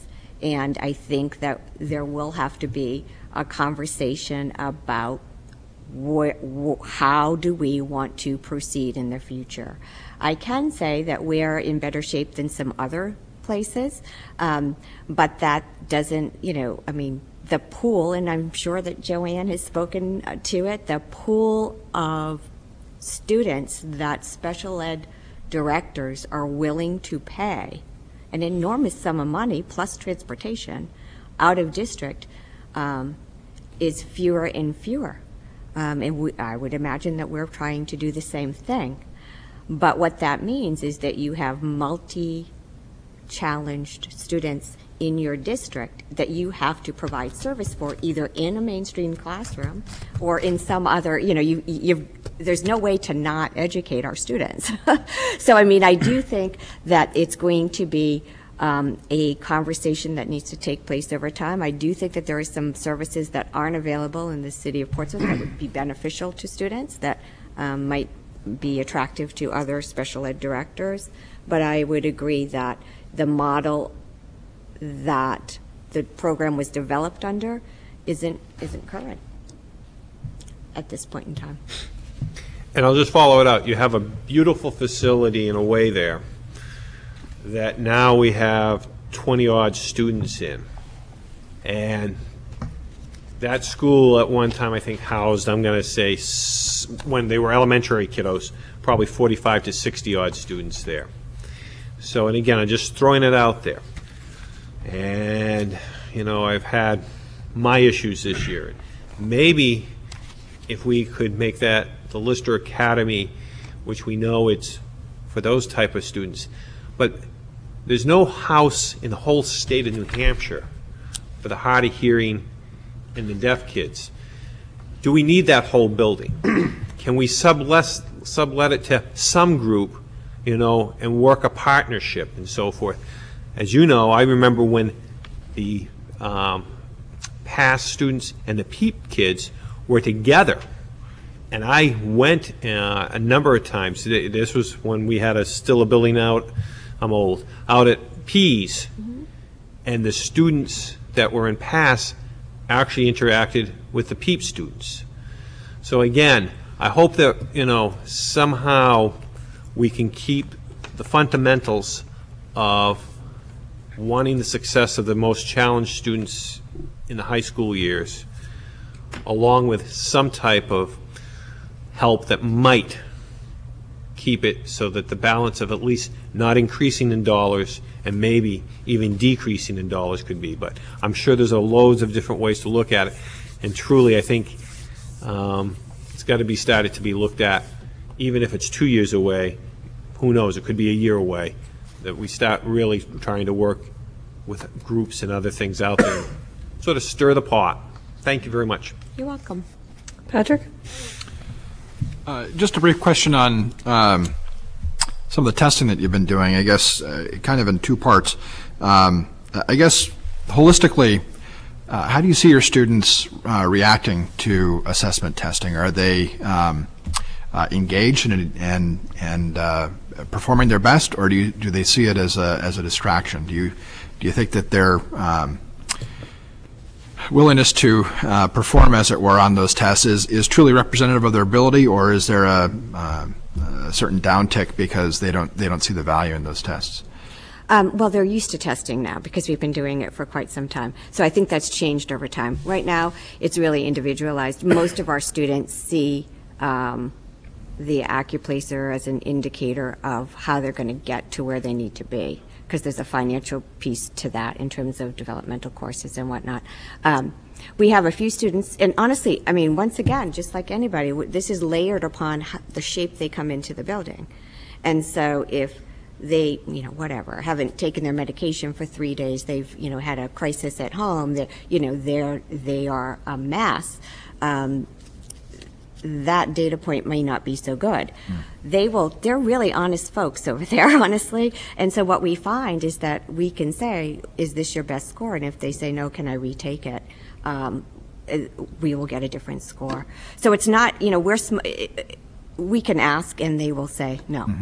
Um, and uh, they want to do their best. I don't have, I, I have to say that mm, our students, we- we've been fortunate in creating a community that students want to do their best and they will acknowledge when they don't. Um, and there also is because, honestly, Patrick, it's connected to um, our RTI and intervention block. If kids have done poorly on a test and they don't want to get assigned for these intervention blocks, they want to retest because they don't necessarily want to spend their time in that way if it's not necessary. So, you know, I mean, there there are a lot of different little kind of layers to it. Okay.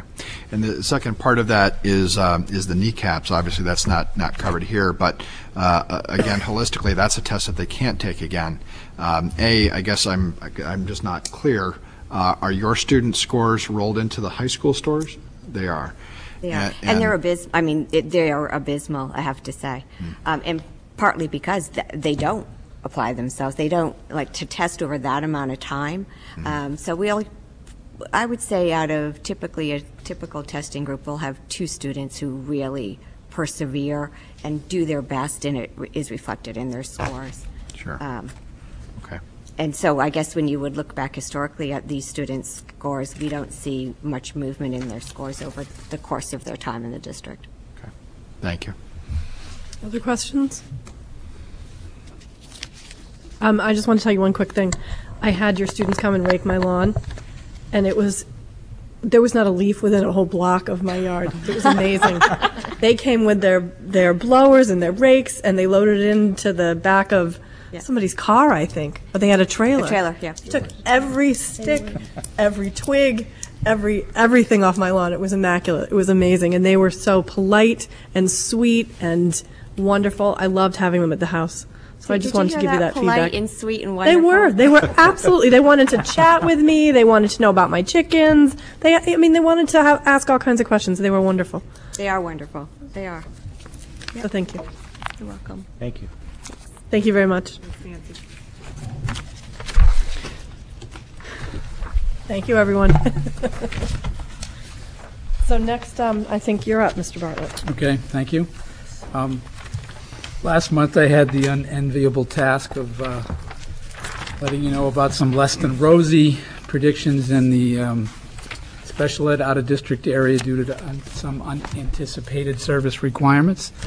Um, We continue to watch that closely, but as what I said then was that I would um, freeze non-contract budget items. Um, I spent most of February vacation doing all kinds of analyses and history checks and everything else. Um, So as the um, staff came back, I have been working with each, with each of the principals, the department heads, and have gotten through most everybody to um, explain the situation and um, negotiate here and there so that um, we're holding back some money in just about everybody's budget until uh, we have a little, a little better confirmation of, of how the year might end. So the focus for the rest of the year is going to be on um, special ed out-of-district expenses, maintenance expenses, and transportation expenses. Um, These are the three areas that fluctuate the most. Uh, They're uh, based on a number of factors which we have difficulty controlling and difficulty predicting. Um, Last year, we were able to um, deal with our issues um, by using a few accounts, and this year, I've had to negotiate in many accounts, um, but we have held it back, and by and large, everybody's been cooperative, not always happy, but cooperative, and we're trying to, to, you know, make the best of a situation that um, exists. Um, When you freeze things, what that ends up doing um, is it has an effect on the plan portion of the plan type of analysis. Um, So you go back to the old, um, where are we compared to last year, previous years by numbers. Um, So looking at it both ways, um, quite frankly, we are within seven one hundredths of a percent where we were last year at the end of February on, on, on average as a total.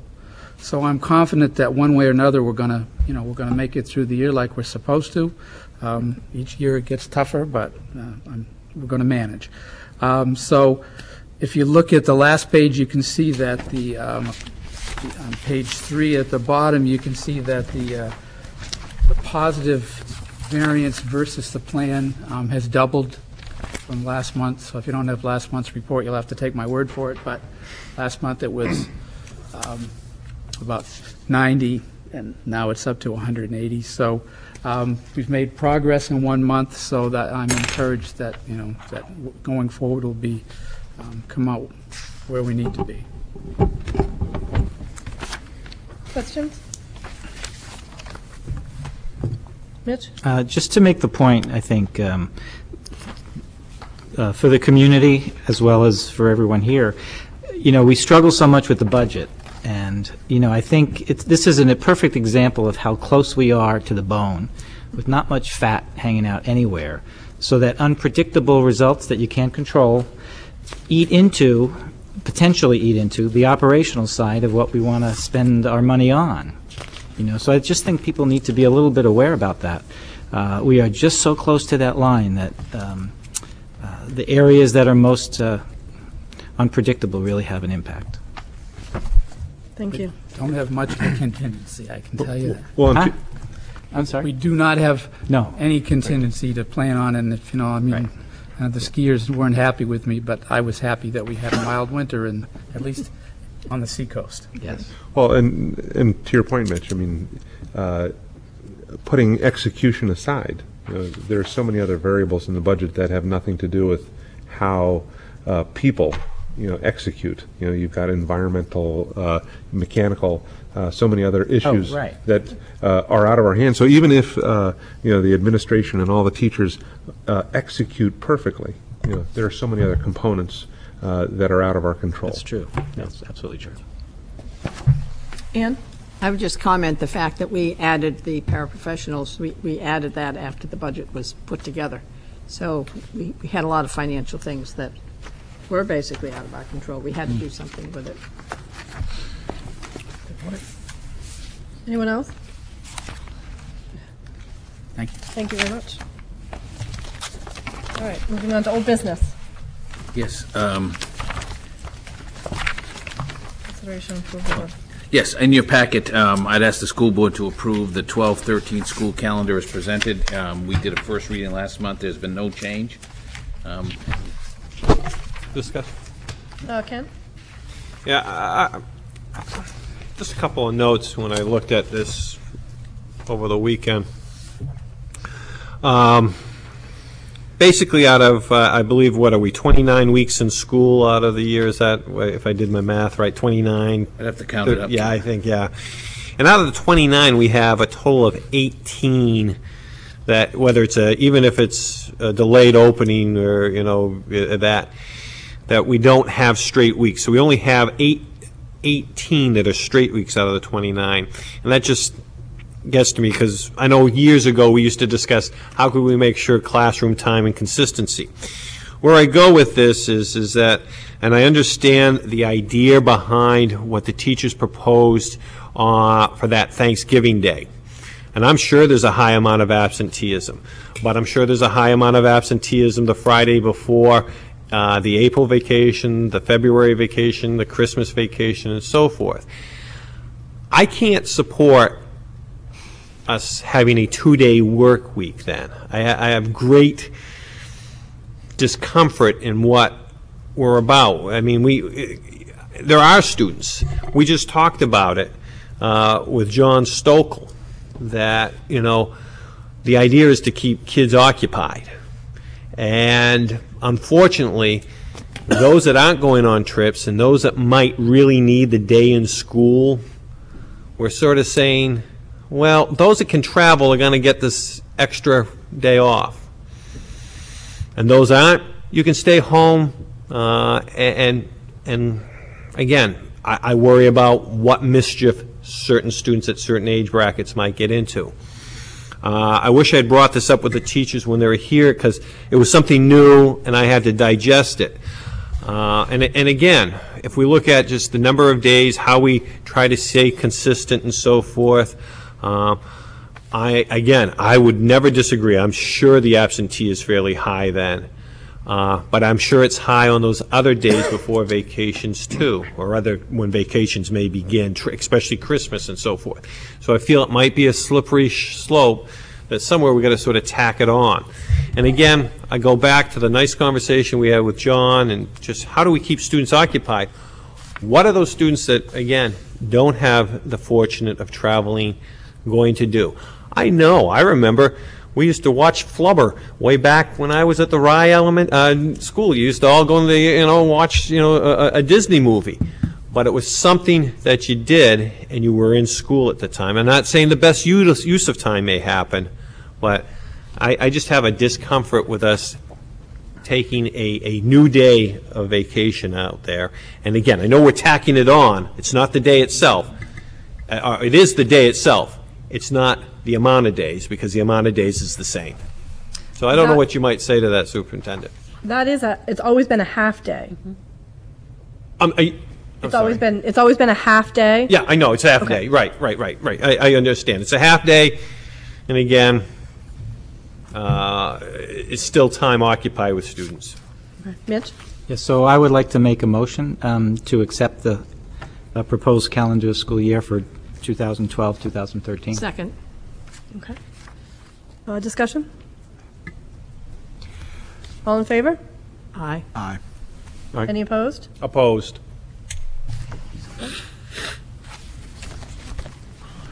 Thank you. All right, moving on to the policy. Yes, so this was a policy that had been for first reading. We pulled it at the last uh, business meeting to go back and look at it. Um, And it's, it's a policy that's intended to recognize the representative from SAU 50, the APT representative, and the high school student, which is already recognized by charter. It's just kind of putting it within policy. You can see what we went, and we made an adjustment there in that last paragraph. We um, basically said it shall be the purpose of the board to provide education of the best quality for Portsmouth School Department students, and um, eliminated within the limitations imposed by taxpayers' ability to pay and support the educational program, um, as well as the last sentence as well. So it's ready for approval. Move to accept? Second. A discussion? All in favor? Aye. Aye. Any opposed? Thank you. And the next item, I've asked uh, Mr. Ballard to kind of provide a board an update on our process in terms of the uh, move to central office here, uh, central office move here to the municipal complex, as well as a little update on where we are with the Little Harbor process for this summer. Okay. The, um, the fourth floor renovations, um, here at City Hall, um, there was an RFQ to qualify contractors, uh, specifically construction managers is what we asked for, because this is a, um, a construction managed design build project, if you will. Um, So um, an RFQ was created. Um, There was a walkthrough um, I think either 13 to 16 um, companies came to the walkthrough. I, I didn't attend, so I didn't count them exactly. But I do know that there were 13 responses.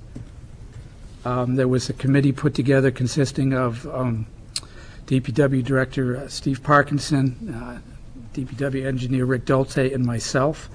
Um, We reviewed um, all 13 responses and narrowed it down to four um, respondents for second um, interviews. After going through those second interviews um, and all the ratings were done, um, the decision was made that, um, I don't know whether to pronounce it Risi or Ritchie, I've heard it's both ways, but either way, Ricci Contracting, um, Ricci Construction is going to be the construction manager for the City Hall project. Um, The legal department and Parkinson are working with them um, this week to try to get the contract started and uh, completed so that we can um, start our pre-construction conferences and, um, you know, try to get everything done. There'll be uh,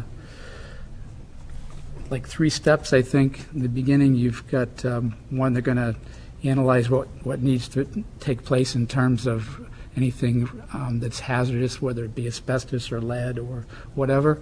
That'll be analyzed and, and put into the process. And then, uh, because the um, AIDS response unit is going, is going to a space that's already empty, that will be done first. And um, as soon as that is underway, um, then they'll backfill and start doing the space for the school department with an anticipated occupancy of the end of June, beginning of July. Um, That space that we vacate at central office is slated to become four kindergarten classrooms at this point.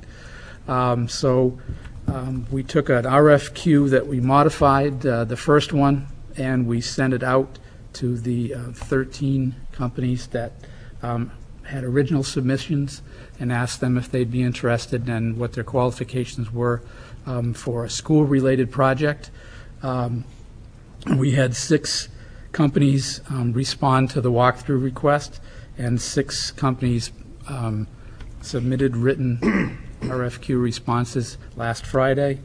Um, The uh, review committee for this project will be um, Tom Martin, because he's the chair of the Facilities, uh, Facilities Committee, um, Superintendent McDonough, um, Maintenance Director Lynchy, and myself.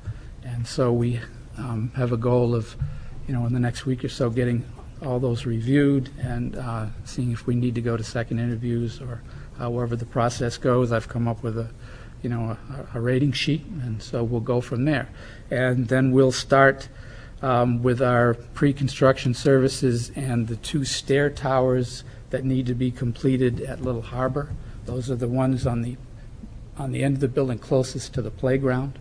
Those, um, the code changes um, require that we um, create a two-hour separation in that corridor.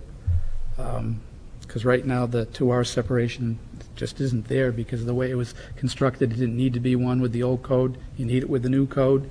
Uh, We were given until September to complete that. That'll be the first part. And then um, we will work on the four classrooms after that. Thank you. Questions? Patrick? Uh, Steve, any, um, any issues get highlighted during the walkthroughs and, uh, uh, timeline-wise, uh, are there, um, are they providing a guarantee that the project will be done, uh, on time? Are there penalties if they are not? It obviously greatly impacts our ability to provide kindergarten in the fall. Um, The walkthrough was just for qualification purposes. We answered questions as we went along. As we go through the review process and narrow it down, um, we, I assume that we'll do the same thing we did with the um, City Hall pieces, um, grill them thoroughly on the commitment to get done on time. Um, I, I know that uh, uh, John Ricci has uh, indicated that that would, that it is doable, and so I'm assuming that we'll find a construction manager that will give us the same um, guarantees. We haven't written penalties into a contract yet, but um, I don't know if that'll be necessary. But it is a bit of a set of dominoes, though. It- it- with Certainly the- is. With, with the, with the city hall portion that's closer, I'm sorry, is the contract executed? No. No. This okay. week. This week you're doing that, okay. All right, great. Anybody else? All right. Thank you very much. Um, Tom, under new business, you want to talk about Generate for Schools? Sure.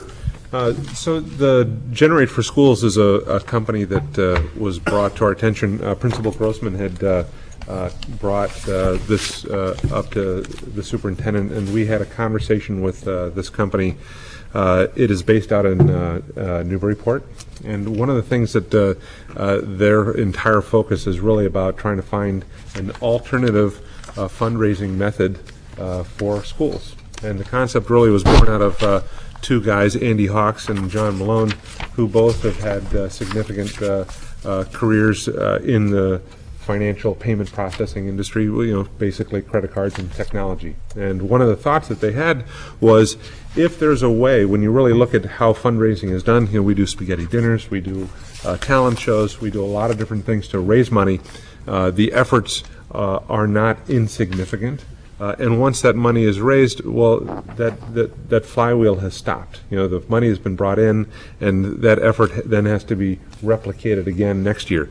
So the concept here is that uh, when a, a business uh, accepts a credit card, there's a portion of the money that is uh, captured that is uh, applied to the Visa company as well as to the merchant service provider. So there's a fee uh, that is paid by the business to the company that's going to process the credit card.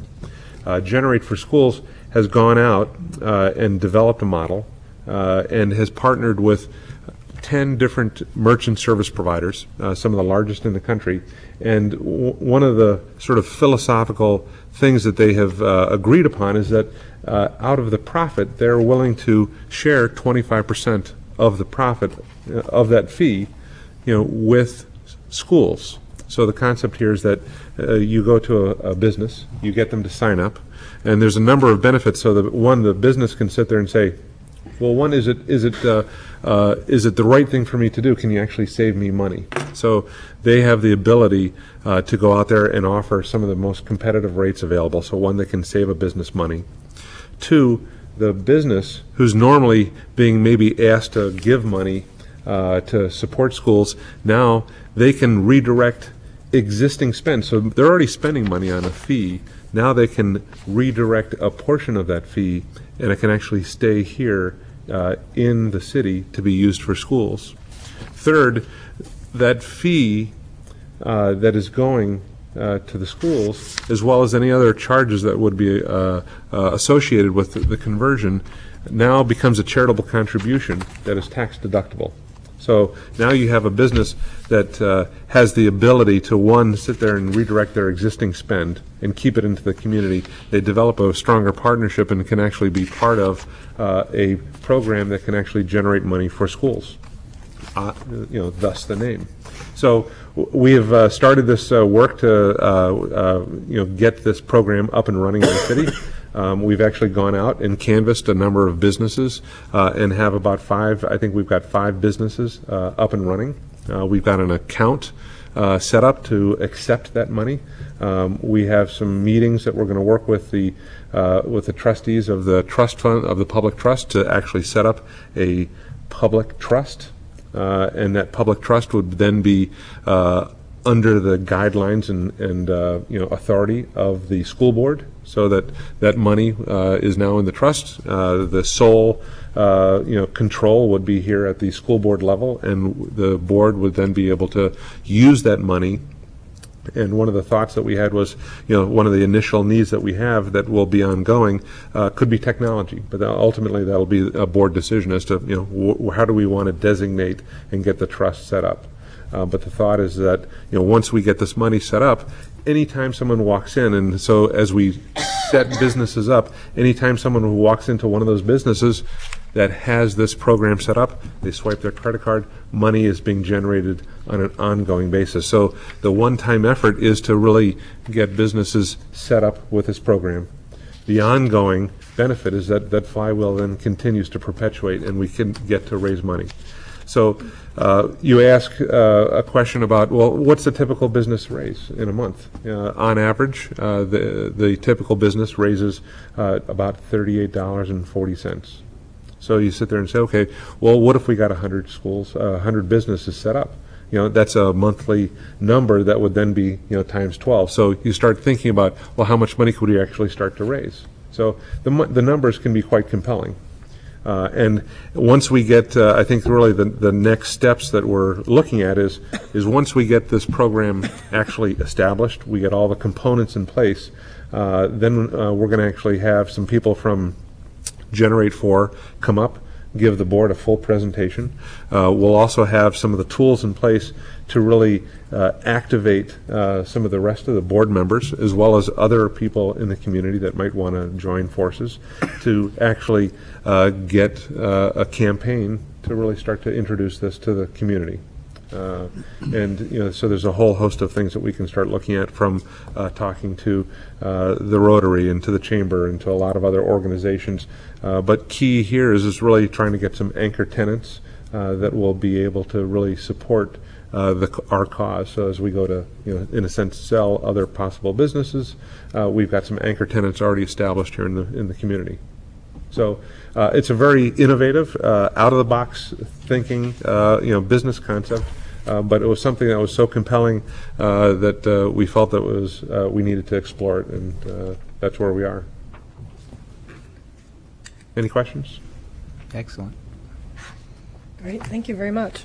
So I, uh, just as, uh, we'll probably have something for uh, a meeting in uh, April, uh, is my thought, but, uh, you know, we'll, we'll obviously coordinate and let, let people know when we'll have that meeting. Thank you. Okay, so, um, committee updates. The JBC, Dexter isn't here. Do you want to speak to that? As you go by the, the middle school, you'll start to see it's starting to really look like a building now. Yeah. And the roofers were back. It's just about fully roofed. I think they'll be done this week on the roofing. Um, The windows, I think, are about um, a week to 10 days out. The, uh, the the masonry work, the brickwork is moving right along. If uh, the, the the back section is, has already had all the staging and plastic, as John said, that hit it, come down. uh, and you look on the other side, there's more coming. So it's, so the, uh, I think the, uh, the board members who, who do attend tomorrow night's tour will be duly impressed with the progress and see that it is in fact starting to look like something real. It's been a long time coming, um, and it's really exciting. You can see why, why Principal Stokel is, is so stoked, I guess. if I. Um, So, um, I think that's, that's, you know, I- that's pretty much all, you know, just come tomorrow night and you get the tour and you can see, and then we'll have a, a- um, a technology work session afterwards, and you can, can see the, uh, another presentation of the concepts we discussed before. Um, Tom Martin's going to have a nice slide presentation, which I think we provided you in advance uh, with, a- with an agenda. And um, we, as far as FF&E goes, um, furniture, fixtures, and equipment, we had a plan that we put together. Um, All the choices were made, the teachers tried stuff, Um, all the selections have been made.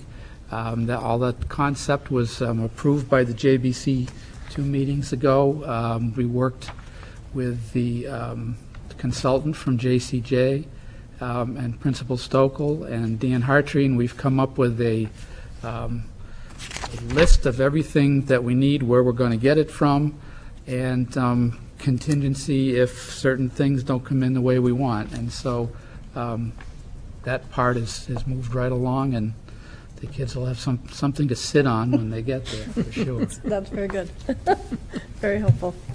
Any questions, Mary? Yes, I just wondered if the uh, milder winter has made it easier, has the project moved a little faster because of the, the milder temperatures? Well, I, I would say that it's moved a little faster in terms of not having to keep digging the site out, um, but it has saved, so- certainly saved some money in winter condition expenses because, um, you know, in these, in these times, I, I, it it amazes me, you know, I've looked at school buildings for over 20 years, and um, my first job in this business, I was part of a project in Claremont, and I saw the thing evolve, and now I'm seeing other things happen here, and just the changes in technology in the building trades are, are unbelievable.